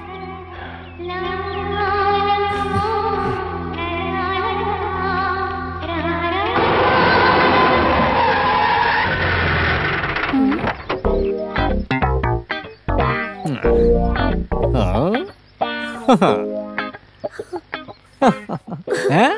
ये क्या? तुम्हें बचपन में जैसा देखा था वैसा आज नहीं हो। अरे मोहन भाई आप मुझे तो लगा सर्कस से भागा हुआ कोई जोकर है। इसका मतलब तुम्हारा शरीर ही नहीं तुम्हारी ज़ुबान भी लंबी हो गई है। ये गाड़ी कहाँ से लाए हो? इसे तो लाल भाई ने कितने सिनेमा में इस्तेमाल किया हुआ है। देखने से मेरे दिल को छू लिया। मोहन कुट्टी का कभी किसी के ऊपर दिल आ गया तो समझो मेरी है है। बेटी? हाँ? हाँ? अरे बाप रे ये कौन है? मोहन कुट्टी है क्या? माँ। अरे मोहन तुम रो क्यों रहे हो? कुछ भी हो जब मामा मर गए थे मुझे एक मिस कॉल भी करने का आपका दिल नहीं किया। ये सब अचानक हो गया मोहन। बताए तो कौन से नंबर पे? एक नंबर तो तुम रखते नहीं हो। इस एक्टिंग के फ़ील्ड में हमेशा हर बार नंबर बदलते रहते हैं ना तो कैसे मैं एक ही नंबर रखूँगा? सिनेमा प्रोड्यूसर बनने के लिए कुछ दिनों से घूम ही रहे हो। कुछ बनाया है क्या? ममूटी और मोहनलाल मेरे फ़िल्मों में काम करने के लिए हमेशा से ही तैयार हैं। लेकिन एक कहानी भी तो मिलनी चाहिए।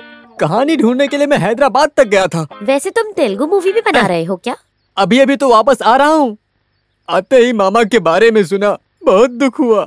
मामा ने शायद पैसों के बारे में नहीं बताया होगा। चिता की आग भी नहीं बुझी और मैं पैसा मांगने आ सकता हूँ क्या? वैसे माँ जी मीरा कहाँ है? दीदी को आने में साढ़े आठ बज जाएँगे। बाय द वे यहाँ कोई तो एक पलनी देश का आदमी आकर ठहरा है ऐसा सुना क्या है मैंने कि मामा को जो पैसे देने वाला है वही आदमी है वो। मतलब मुझे पास रहना मतलब मुझे पास रहना चाहिए तो भी मैं यहाँ पर नहीं रहता हूँ। तो फिर जिसे पैसा देना है उसे यहाँ पर क्यों ठहराने का? जब पैसा मांगने के लिए जॉर्ज यहाँ आकर शोर मचा रहा था ना उस समय आया था काउंटर हमारी मदद करने के लिए। फिर भी लो आ गया वो।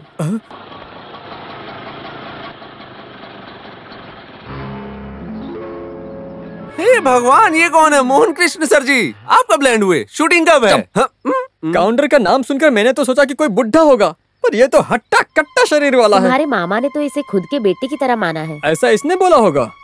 वैसे एक जवान लड़की इस घर में रहती है। एक नहीं दो। ठीक है ठीक है। जितना जल्दी हो सके उतना जल्दी पैसा देकर जगह को छोड़ दो समझे? नहीं तो इस मोहन कृष्ण के फ़िल्म के बारे में तुम नहीं जानते। पहले घर जाकर अपने पत्नी और बच्चों को देखो मोहन कृष्णन हैं? सब कुछ बर्दाश्त करने वाली पत्नी को तुम छोड़ने की बात कर रहे हो? ये तो धोखा है। सच बोलो तुम हो कौन? तुम इस तरह मलयालम साफ़ साफ़ बोलना कहाँ से सीखा? बताओ। मैं कोई भी हूँ पर इस चौखट पर तुम्हें कदम नहीं रखना ऐसा मेनन सर ने बोला था। ओहो इसका मतलब मामा ने तुमको मेरे बारे में सब कुछ बता दिया है। माँ जी फ़िलहाल के लिए मैं जा रहा हूँ लेकिन मामा को मुझे जो पैसा देना है वो नहीं चाहिए। ऐसा मैं सोच रहा था लेकिन अब तो मैं लेकर ही रहूँगा। हाँ। कुछ भी हो काउंटर जी आपको मानना पड़ेगा। सीबीआई फ़िल्म में सेतु रमन नैयर की तरह मोहन सर के मुँह के सामने ही अपनी बीवी बच्चे की बात को लेकर उसे हिला कर रख दिया। जैसा तुम लोग सोच रहे हो वैसा नहीं है। उस जॉर्ज से भी ज़्यादा बेकार है ये तो। माँ जी आप बिल्कुल मत डरिए सब ठीक हो जाएगा। ये लो।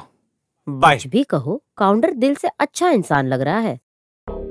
इस मोहन कृष्ण के होते हुए इस गाँव में उस काउंटर का रहना बहुत मुश्किल है। पुलिस मेरी जेब में है। इस सेल से ऐसा एक नंबर लगाऊँ ना तो माफिया का पूरा गैंग आ जाएगा। हाँ। ये कौन है माफिया दीदी? सिनेमा में स्टंट मास्टर है। हे भगवान वो सब नहीं चाहिए मोहन।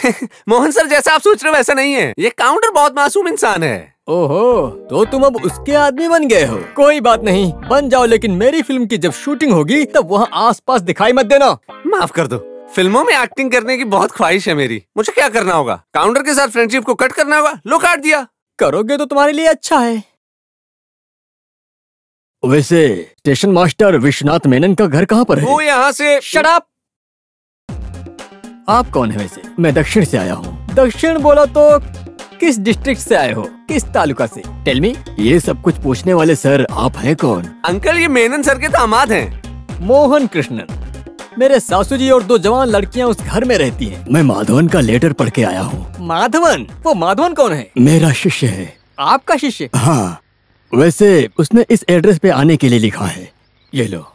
तुम्हारे शिष्य माधवन मेरे ससुर के घर के एड्रेस पर आने के लिए लेटर क्यों लिखे इसीलिए मैं यहाँ आया तो फिर उस कंडक्टर का नाम माधवन भी हो सकता है क्या? काउंटर ठाकुर ये सब मैं नहीं जानता हूँ। नंदगांव के माधवन से मिलने आया हूँ मैं। हे भगवान शायद पैसा लेकर आया होगा। पैसा? कौन सा पैसा? मेरे ससुर को जो पैसा देना था वो। वो सब मैं नहीं जानता हूँ। तो फिर तुमको खत लिखकर किस लिए बुलाया था? वो साफ़ साफ़ मलयालम भाषा बोल रहा था तभी मुझे शक हो रहा था और वो शक सही निकला।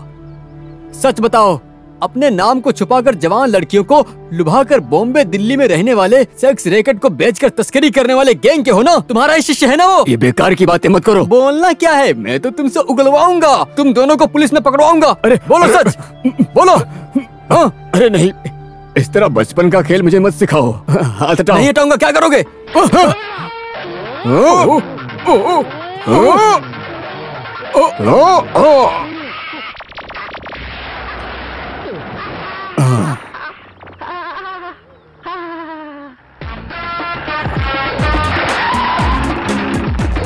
क्या हो गया है? रास्ते वाली छिपकली को अंदर डाल दिया है। गाड़ी के अंदर बिठाने के लिए नहीं हो रहा था इसलिए खड़ा ही रखा है। ठीक है उसे उतार दो। वैद जी अभी थोड़ी देर में आते ही होंगे। हाँ?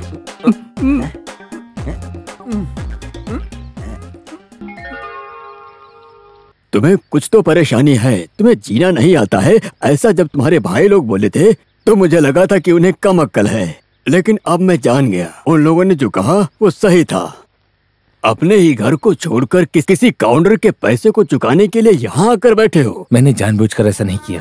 वापस घर लौटने का मन नहीं किया। मैं कहाँ जाऊँगा इसी उलझन में खड़ा था तो फिर मेरा यहाँ आने का मन किया। पर यहाँ आने के बाद तड़प के जो गाँव वालों के सामने खड़े थे उनको देखकर एक माँ और दो जवान लड़कियों को मैंने देखा। उधार तो अलग बात है लेकिन उधार के नाम पर गाँव वालों के सामने अपना सर झुकाकर बेइज्जत होकर खड़े थे शिकार में बन गया। उसी वजह से सबको लगा कि मैं पैसा देने वाला काउंटर हूँ तो सब मुझे उसी नज़र से देखने लगे। तो उनको बचाने के लिए मेरे पास एक ही रास्ता था और उस परिवार से मुझे लगाव सा हो गया। मेनन सर को मैंने ज़ुबान दी थी कि उनकी बेटी मीरा की शादी में मैं कुछ मदद करूँगा। दस या बीस हज़ार का मामला होता तो छोड़ो जाने दो। हम बोल सकते थे अब उसके कर्ज को चुकाकर उसकी बेटी की शादी करवाने की बात कर रहे हो? ये मेरी समझ में नहीं आ रहा। इसी वजह से मैंने किसी को कुछ नहीं बताया। किसी की रहम और मदद की मुझे कोई ज़रूरत नहीं है खास करके उस मीरा की। हम्म, आजकल के जमाने में भगवान भी किसी की मदद करता है तो उसे माइक लगाकर गाँव वालों को ढिंढोरा पीट देता है। तुम्हें समझाने से कोई फ़ायदा नहीं। तुम काउंटर नहीं हो ऐसा बोलने पर वो लोग भरोसा करेंगे क्या? गुरुजी जैसा मैं बोलता हूँ ऐसा करिए। सतीश को समझाने की कोशिश करिए। और एक बार सोच समझ कर बोलो। सोचने वाली कोई बात नहीं है। एक और बात पूछूँ क्या? सच बोलना तुम इस घर की लड़की से कुछ तो ऐसा कुछ नहीं है।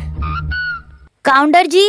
अब हाँ माँ जी काउंटर जी आपके मामा आने वाले थे वही मामा हैं क्या? अ, अ, मामा कौन है? मैंने इनसे बोला था मेरे मामा जी आने वाले हैं। आ, नहीं शाम से पहले घर वापस जाने का ये सोच कर ही आया था। क्या? अ, ये कह रहे हैं कि शाम होने से पहले ही चले जाएँगे। हम्म तो फिर जाने दो। तुमने मुझे यहाँ का मामा बना दिया ना? मेरे पास कोई रास्ता ही नहीं था। ये कौन है? अरे जॉर्ज भाई आप हाँ। किसकी तलाश में आए हो?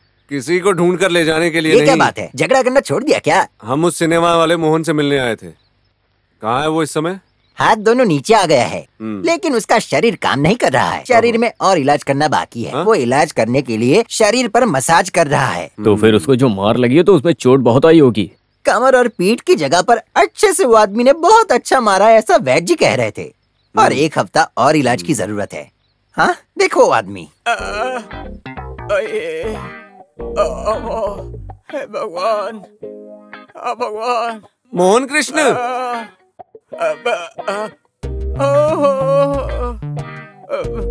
जॉर्ज भाई अब मैं कैसे मीरा के गले में मंगल सूत्र डालूँगा?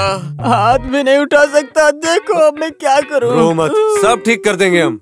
तुम्हारा ये हाल जिसने भी किया होगा उसका भी हाल हम यही करेंगे। अब मैं ऐसे ही पड़ा रहा तो उसको सबक कैसे सिखाऊँगा? तुम सिर्फ़ एक शब्द बोलो काफ़ी है। इससे भी बड़े बड़े लोगों को सबक सिखाया है इस जॉर्ज ने। ऐसे ही मैं थोड़े इन लोगों को पाल रखा हूँ। कितना भी पैसा खर्च होने दो मुझे उसे बदला लेना है। सिर्फ़ उस आदमी को ही नहीं उस काउंटर को भी यहाँ से भगाना है। उसके इस धरती पर पैर रखने की वजह से ही ऐसा हुआ है। ज़रूर उसको सबक सिखाएँगे। उसके यहाँ आने की वजह से ही मेरे मुँह में आने वाला निवाला नीचे गिर गया है।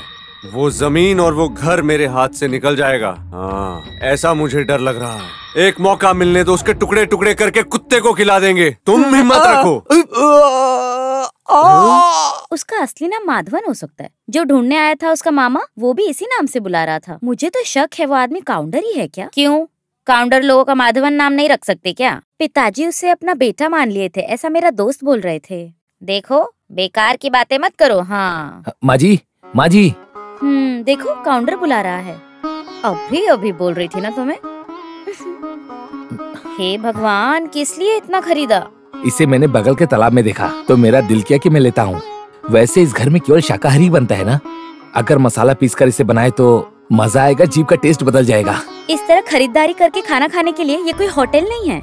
तुम अपने आप बनाकर खा लो काफ़ी है। माँ वो मछली इसे दे दो।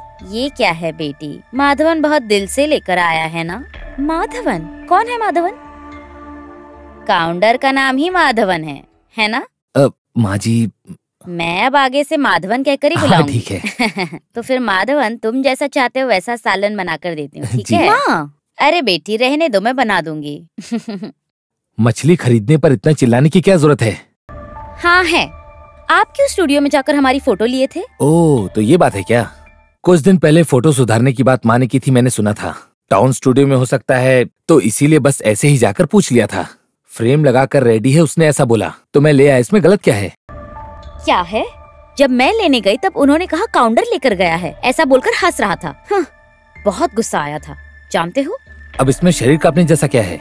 मेनन सर मेरे पिताजी जैसे हैं। उनका परिवार मतलब मेरा परिवार। इसीलिए मैं इतना ख्याल रखता हूँ। अगर पिताजी के ऊपर इतना प्यार है तो जितना जल्दी हो सके तुम्हें पैसे देने चाहिए। सारा हिसाब किताब मेरे पास है। किसको पैसा देना है मैं सब दे दूँगा। तुम्हारी शादी करवा के ही ये माधवन यहाँ से जाएगा। शादी? क्यों नहीं करना है क्या? सुनो ज़्यादा चढ़ाओ मत। मेरी जो ज़ुबान है वो काली ज़ुबान है। गुस्से में कुछ बोल दिया ना तो।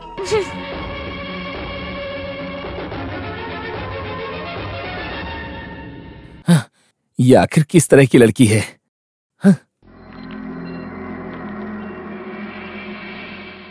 तुम्हारे भाई लोग ने जो लिखकर बंटवारे का पेपर दिया, जब वो ज़मीन को बेच रहे थे तब तुम्हारे नाम पर भी ज़मीन का कुछ हिस्सा रख दिया था। तुम्हें क्या लगता है कि जो तुम्हारी खाली ज़मीन पड़ी हुई है, उसकी कीमत कितनी मिलेगी? कोई आइडिया है? शादी में मदद करने के लिए जो भी तुम उधार देकर रखे थे, वो पैसे तुम्हारे नाम पर छोड़ दिए हैं। वो सब काट कर बाकी तुम्हें जो मिलने वाला हिस्सा, इतना ही है बेटा। जो बंटवारा हुआ उसके मुताबिक जो भी ज़मीन का हिस्सा तुम्हें मिलने वाला है वो इतना ही है। जब तुम साइन करोगे तो तुम्हें मिल जाएगा ऐसा उन्होंने कहा। नहीं गुरुजी मुझे कुछ नहीं चाहिए इसीलिए तो मैं वहाँ से आ गया। और कोई बात नहीं है। अपने कंधे पर लेकर जिसने मुझे लोरिया सुनाई वो खून का ही तो रिश्ता है। उन्हें सब कुछ दे दीजिए। उन लोगों को ले लेने दो। अच्छा माँ ने कुछ बोला क्या? मैं घर नहीं गया था। नंदू के घर में कुछ चर्चा हो रही थी। माँ को इस बारे में बताने की ज़रूरत नहीं ऐसा वो लोग बोल रहे हैं। मैं कहा किसी ने पूछा क्या? तमिलनाडु में बिज़नेस शुरू करने गया था ऐसा उन लोगों ने कहा। सब कुछ छोड़कर वापस वहाँ जाएगा ऐसा वो लोग मुझसे पूछेंगे सोचा था।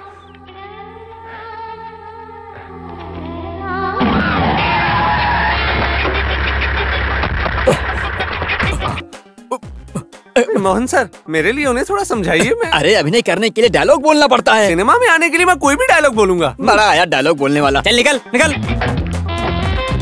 मनोज सर यही वो घर है। जिसके बारे में मैंने कहा था।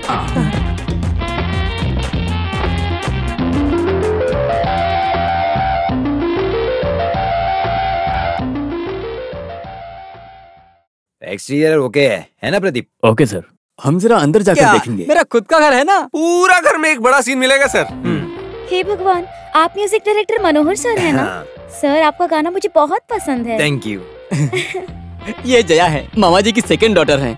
कॉलेज में पढ़ती है। अरे तुम तो सर का गाना सुनकर होश खो बैठती थी ना? अब सर यहाँ पर शूटिंग करने वाले हैं। में आपकी हाँ, शूटिंग नहीं नहीं नहीं उसके लिए स्टोरी नहीं मिली। तुम जाकर माँ और मीरा को लेकर आओ। वैसे मीरा मेरी कौन है? होने वाली मंगेतर है। ओह।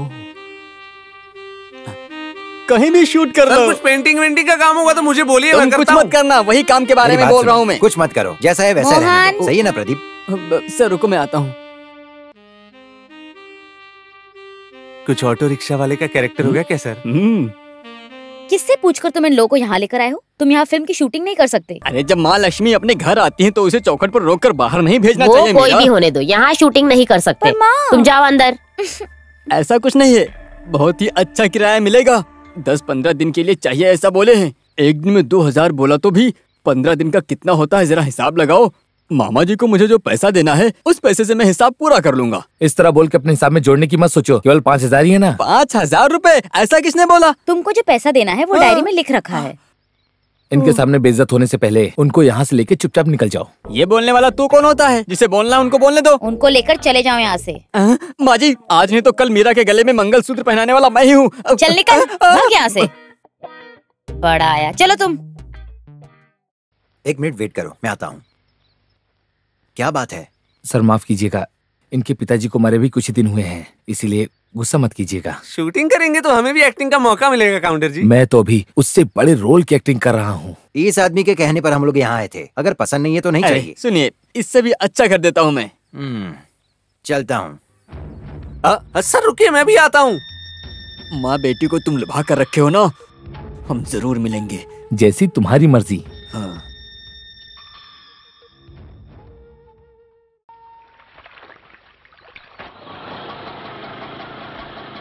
यहीं पर रुकना। आइए। आप लोग बैठिए मैं बुला कर लाता हूँ। माँ जी क्या है ये? जरा अच्छे से कपड़े सुखाओ। अरे माँ जी मैं आपको कब से आवाज़ दे रहा हूँ? जिस काम से गए थे उसका क्या हुआ? ये रहे कागजात आधार कार्ड और पेपर। और ये जिस पर मेनन सर ने अपना साइन किया था। हाँ।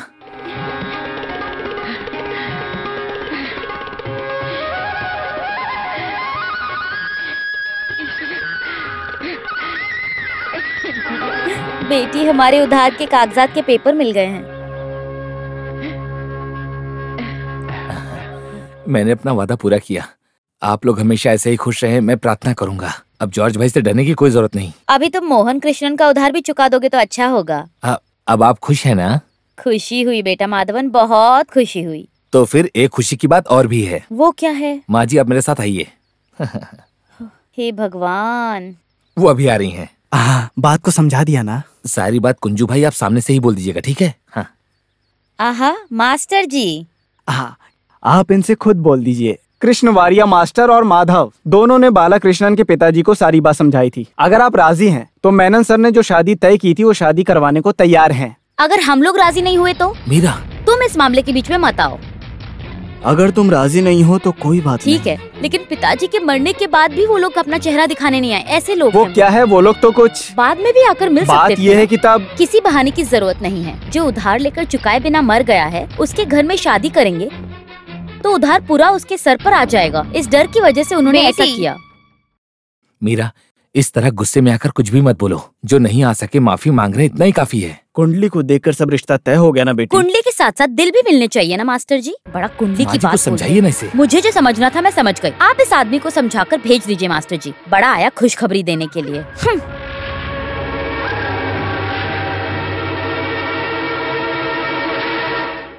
हम्म हम्म। हाँ आओ आओ। मेरी एक्टिंग मेरे पास होती जॉर्ज भाई। अपनी एक्टिंग अपने पास ही रखो। लेकिन ये ऑटो रिक्शा जो है वो जॉर्ज के हाथों में रहेगा जब्बार बेटा। अरे भाई ऐसा मत करना। हाँ? माँ हॉस्पिटल में उस वजह से। भगवान की कसम मैं आपका उधार चुका दूँगा। अगले दिन दे देने का। हाँ। ए हाँ? तुम्हारा सिनेमा कहाँ तक पहुँचा? वो सिनेमा वाले को मैं शूटिंग के लिए भाड़े पर दिया हूँ अपने जोसेफ भाई के कहने पर। वो सब रहने दो। अंजा गाँव का मुतप्पन आया क्या? उसके लिए क्यों हिचक रहे हो तुम? घर पे जाके मिल लेंगे। उससे मिलकर कुछ बात करनी है। उसके लिए तो काउंटर वहाँ हिफाजत करने के लिए खड़ा है ना? और उस आदमी से मुझे अब किस बहाने से जाऊँ? पाँच हज़ार रुपए थे क्या? तुम्हारी बात को सुनकर लगा कि एक दो लाख रुपए होंगे। ये सही बात थी। मैंने ले लिया ना लेकिन मेरे स्वर्गवासी मामा मरने से पहले जो मिलने वाला है जो देने वाला है उसका हिसाब किताब लिख कर रखेगा। ऐसा मैंने सोचा थोड़े था। हाँ दे दिया है। मैंने सोचा पैसे नहीं मिले तो ज़मीन और घर तो मिल ही जाएँगे। लेकिन वो आदमी कुछ ज़्यादा ही चलाक था। उसने वो काउंटर बड़ी होशियारी से मुझसे छीन उतरो, लिया। उतरो जल्दी उतरो। चलो जाने दो।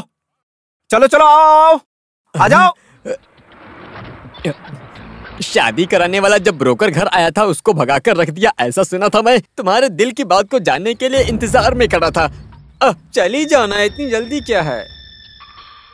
मेरा दुखी मत होना मुझे तुरंत तलाक मिल जाएगा। वैसे वो मेरे मन के मुताबिक चलने वाली लड़की नहीं है। अगर तुम मिल गई तो सुनो अपनी जबान को लगाम दो। क्या प्रॉब्लम है? हम एक ही परिवार के लोग हैं कुछ भी बात कर सकते हैं। अ, मीरा तुम जाओ। तुम कौन हो? उसके बॉडीगार्ड हो क्या? मेरे सामने हिटलरगिरी मत दिखाना। ये पांडी देश पलनी नहीं है। जिसको देना था वो दे दिया ना अब निकलो यहाँ से माधवन काउंटर। कैसे? वो सोने का अंडा देने वाली मुर्गी है ना? वही लड़की से मिल गई है। हाँ वैसे ही छोड़ के जा सकता है क्या? अरे मार कर दफना दो उसको।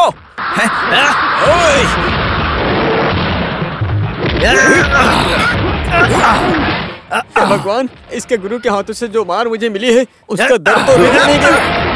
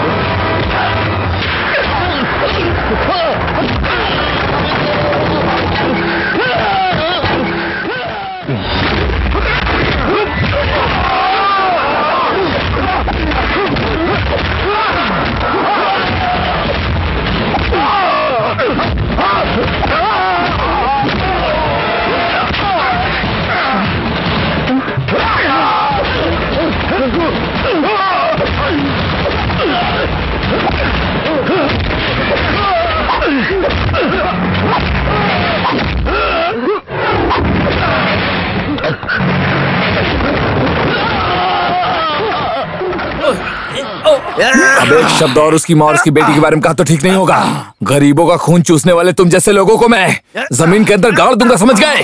क्यों जॉर्ज, कुछ बोलना?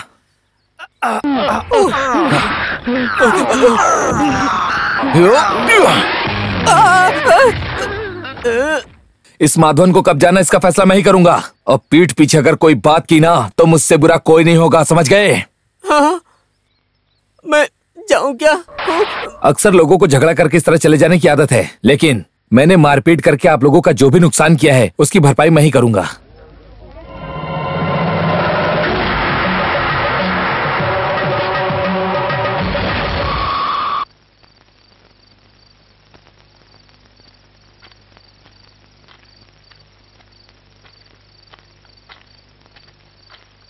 मेरी बेटी तुम जरा शांत हो जाओ। देखो वो आ गया है। बेटी तुम अभी उधर मत जाना। मेरा हाथ छोड़ो। अब खुश हो ना तुम? इतने दिन हम तकलीफ़ में जी रहे थे बस बेइज्जत होना बाकी था। लेकिन तुम्हारी वजह से आज मेरा अभिमान टूट गया। मीरा मैं कुछ मत बोलो। उन्होंने जो पूछा उसमें क्या गलत है? हम लोगों को जो पैसे देने थे वो तो आपने दे दिए है ना? फिर क्यों हमारी इज़्ज़त को निकालने के लिए खड़े हैं? चले जाना चाहिए आपको यहाँ से।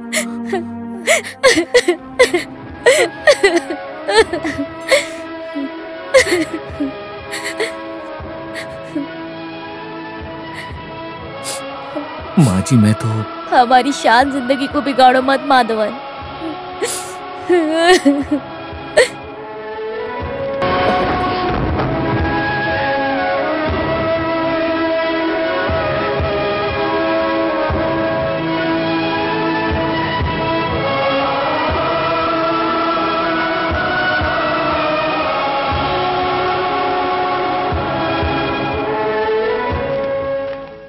कहाँ गया वो आदमी? उठा नहीं होगा। मास्टर आपसे मिलने के लिए ही सोच रहे थे हम कल। हाँ मैं जानता हूँ।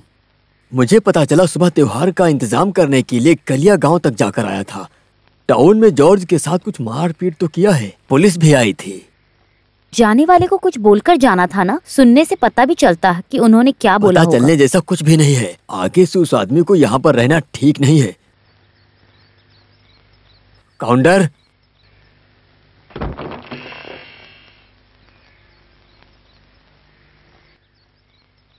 लगता है घर छोड़कर चला गया।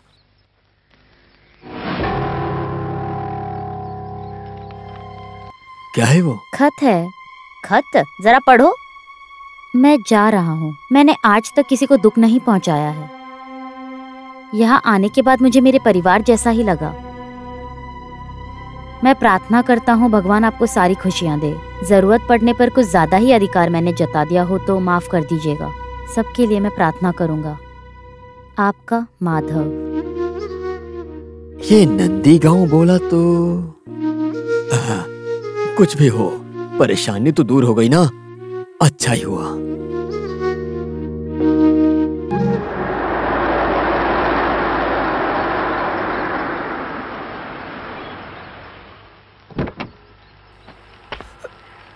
कौन है मास्टर? पलने के काउंटर का लड़का है ये। तालाब के पास मुझे मिला घर का पता पूछ रहा था। मेनन का पुराना दोस्त पलनी में रहने वाला काउंटर का लड़का है ये। वो आदमी मर गया है। मेरा नाम गणेश है। यहाँ बैठने के लिए बोलिए मास्टर जी। वहाँ बैठते हैं। हम्म। मेनन सर से कई बार मिला हूँ मैं। किस लिए आए हैं जरा पूछिए। मैं मलयालम सुनूँगा तो समझ लेता हूँ लेकिन बात करना थोड़ा मुश्किल है। मेरे पिताजी मेनन सर को ज़ुबान दे रखे थे लेकिन उन्हें बचा नहीं पाए। इसकी वजह से मास्टर की बेटी की शादी रुक गई। इस बात को लेकर पिताजी ने अपनी जान गंवा दी। आपको समझ आ रहा है? समझ में आ रहा है। मास्टर जी की मौत के बारे में बहुत देर से मुझे पता चला। मेनन की मौत की खबर देर से मालूम हुई ऐसा बोल रहा है। समझ में आ गया है मास्टर। चाहे किसी का भी कर्ज रोक दो लेकिन मेनन सर का पैसा लौटाना ऐसा मेरी माँ बोली थी।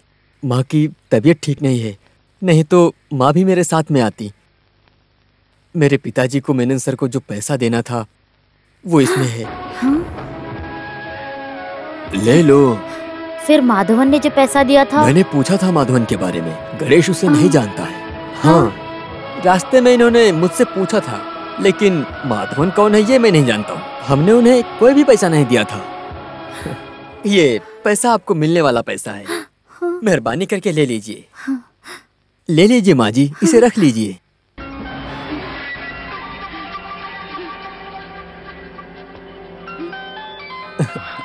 माँ का फ़ोन है। एक्सक्यूज मी हेलो मेरी समझ में कुछ नहीं आ रहा है। बिना किसी रिश्ते के किसी माधवन ने आकर हमारी क्यों मदद की? मैंने उनको पैसा देने वाला और कोई हो सकता है क्या? पल्ली में पैसे के लेन देन में किसी का संबंध नहीं है ये मैं जानती हूँ। हे भगवान मेरे तो हाथ पैर काँप रहे हैं। तुम हिम्मत से काम लो। क्या करना है इस बारे में हम सोचेंगे। हाँ। ठीक है माँ। मीरा की शादी में यहाँ आकर तुम सबसे मिलने के लिए ऐसा पिताजी बोले थे। ये माँ बोल रही हैं। किस्मत में नहीं है। क्या कर सकते हैं? सब ऊपर वाले का खेल है। शादी में ज़रूर बुलाने के लिए बोले हैं। पैसा देने में लेट हुआ उसके लिए माफ़ी भी मांग रही थी। अब मैं चलता हूँ माँ जी।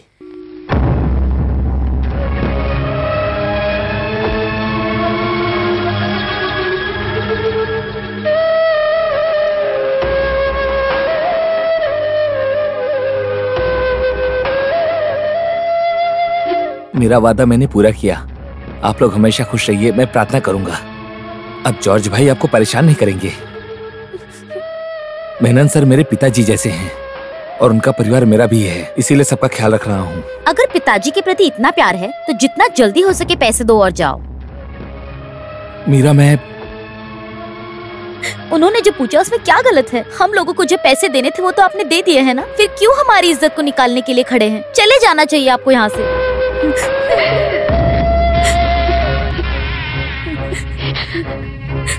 अब तुम लोगों के दिल को शांति मिल गई ना?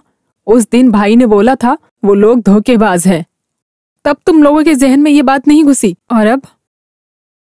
साथ में रहकर वो लोग इतना बड़ा धोखा देंगे कभी सपने में भी नहीं सोचा था। ऐसा राजन भाई भी बोल रहे थे माँ आपके चेहरे को देखने की हिम्मत नहीं है इसीलिए नहीं आए हैं।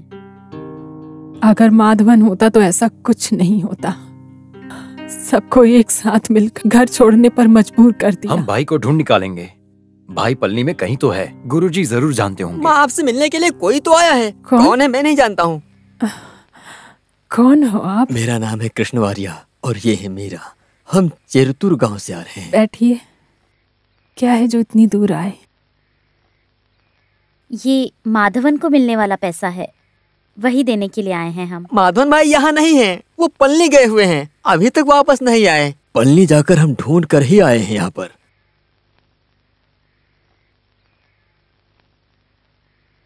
तुम मेरे बेटे को ज़रूर लाना।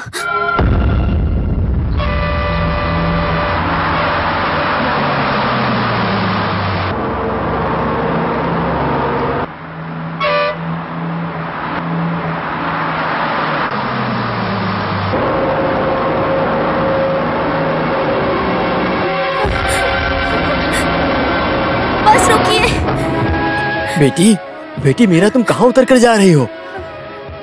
रुको रुको। माधव माधव।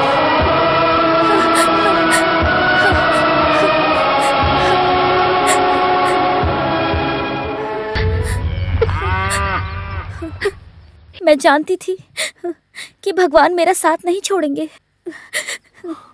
मैं नहीं माधवन यहाँ कुछ मत बोलिए। मैं सब जानती हूँ। मीरा आपको मैंने बहुत तकलीफ़ दी है। गलती हो गई।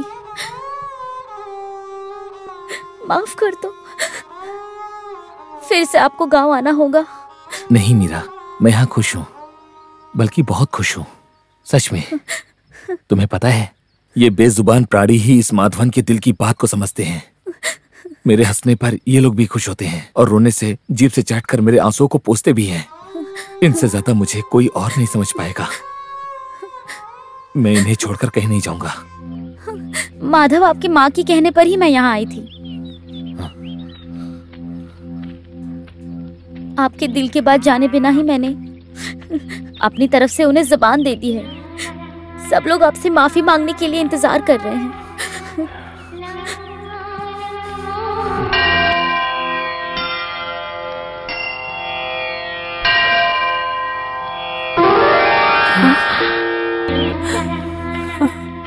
इस माँ के ऊपर गुस्सा मत करो बेटा।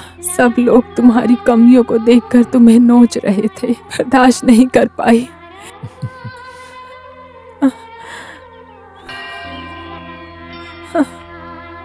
बेटा तुम्हारा कैसे शुक्रिया अदा करूँ? मेरी समझ में शुक्रिया नहीं तो आ रहा है। भगवान का कीजिए मम्मी। हाँ कहाँ कहाँ नहीं ढूंढे हम। लेकिन भगवान ने ढूंढ कर दे दिया ना भाई। ज़्यादा पढ़े उस घमंड में कुछ तो बोल दिया होगा कोई बात नहीं जो हुआ उसे भूल जाओ। पहले जैसे सारे काम को लेकर आप ही चलाइए। वो सब मुझे नहीं चाहिए। सारा कारोबार तुम ही लोग संभालो इतना ही काफ़ी है क्योंकि अब मुझसे कुछ नहीं होने वाला। साले साहब तब की परिस्थिति में हम लोग अनजाने में गलती कर बैठे। मुझे माफ़ कर मुझे किसी के ऊपर कोई गुस्सा नहीं है। जब मीरा ने आके बोला तो मैं मिलने चला है उनसे मिलने का दिल कर रहा था। दिल में एक बोझ था वो भी उतर गया। दिल को अब शांति मिल रही है। अगर मैं अभी यहाँ खड़ा हूँ तो बस एक अजनबी के जैसा। माधव? तुम्हारे आने की खबर को सुनकर तुमसे मिलने के लिए आए। भाई ये गाँव छोड़कर जाने की बात कर रहे हैं। अगर हमारी वजह से आप कर्जदार बन गए तो हम कुछ भी करके उसका उधार चुका देंगे। लेकिन तुम यहाँ से मत जाओ। तुम बारिश की पानी की तरह हो माधव। तुम यहाँ से चले जाओगे तो ये ज़मीन बंजर हो जाएगी।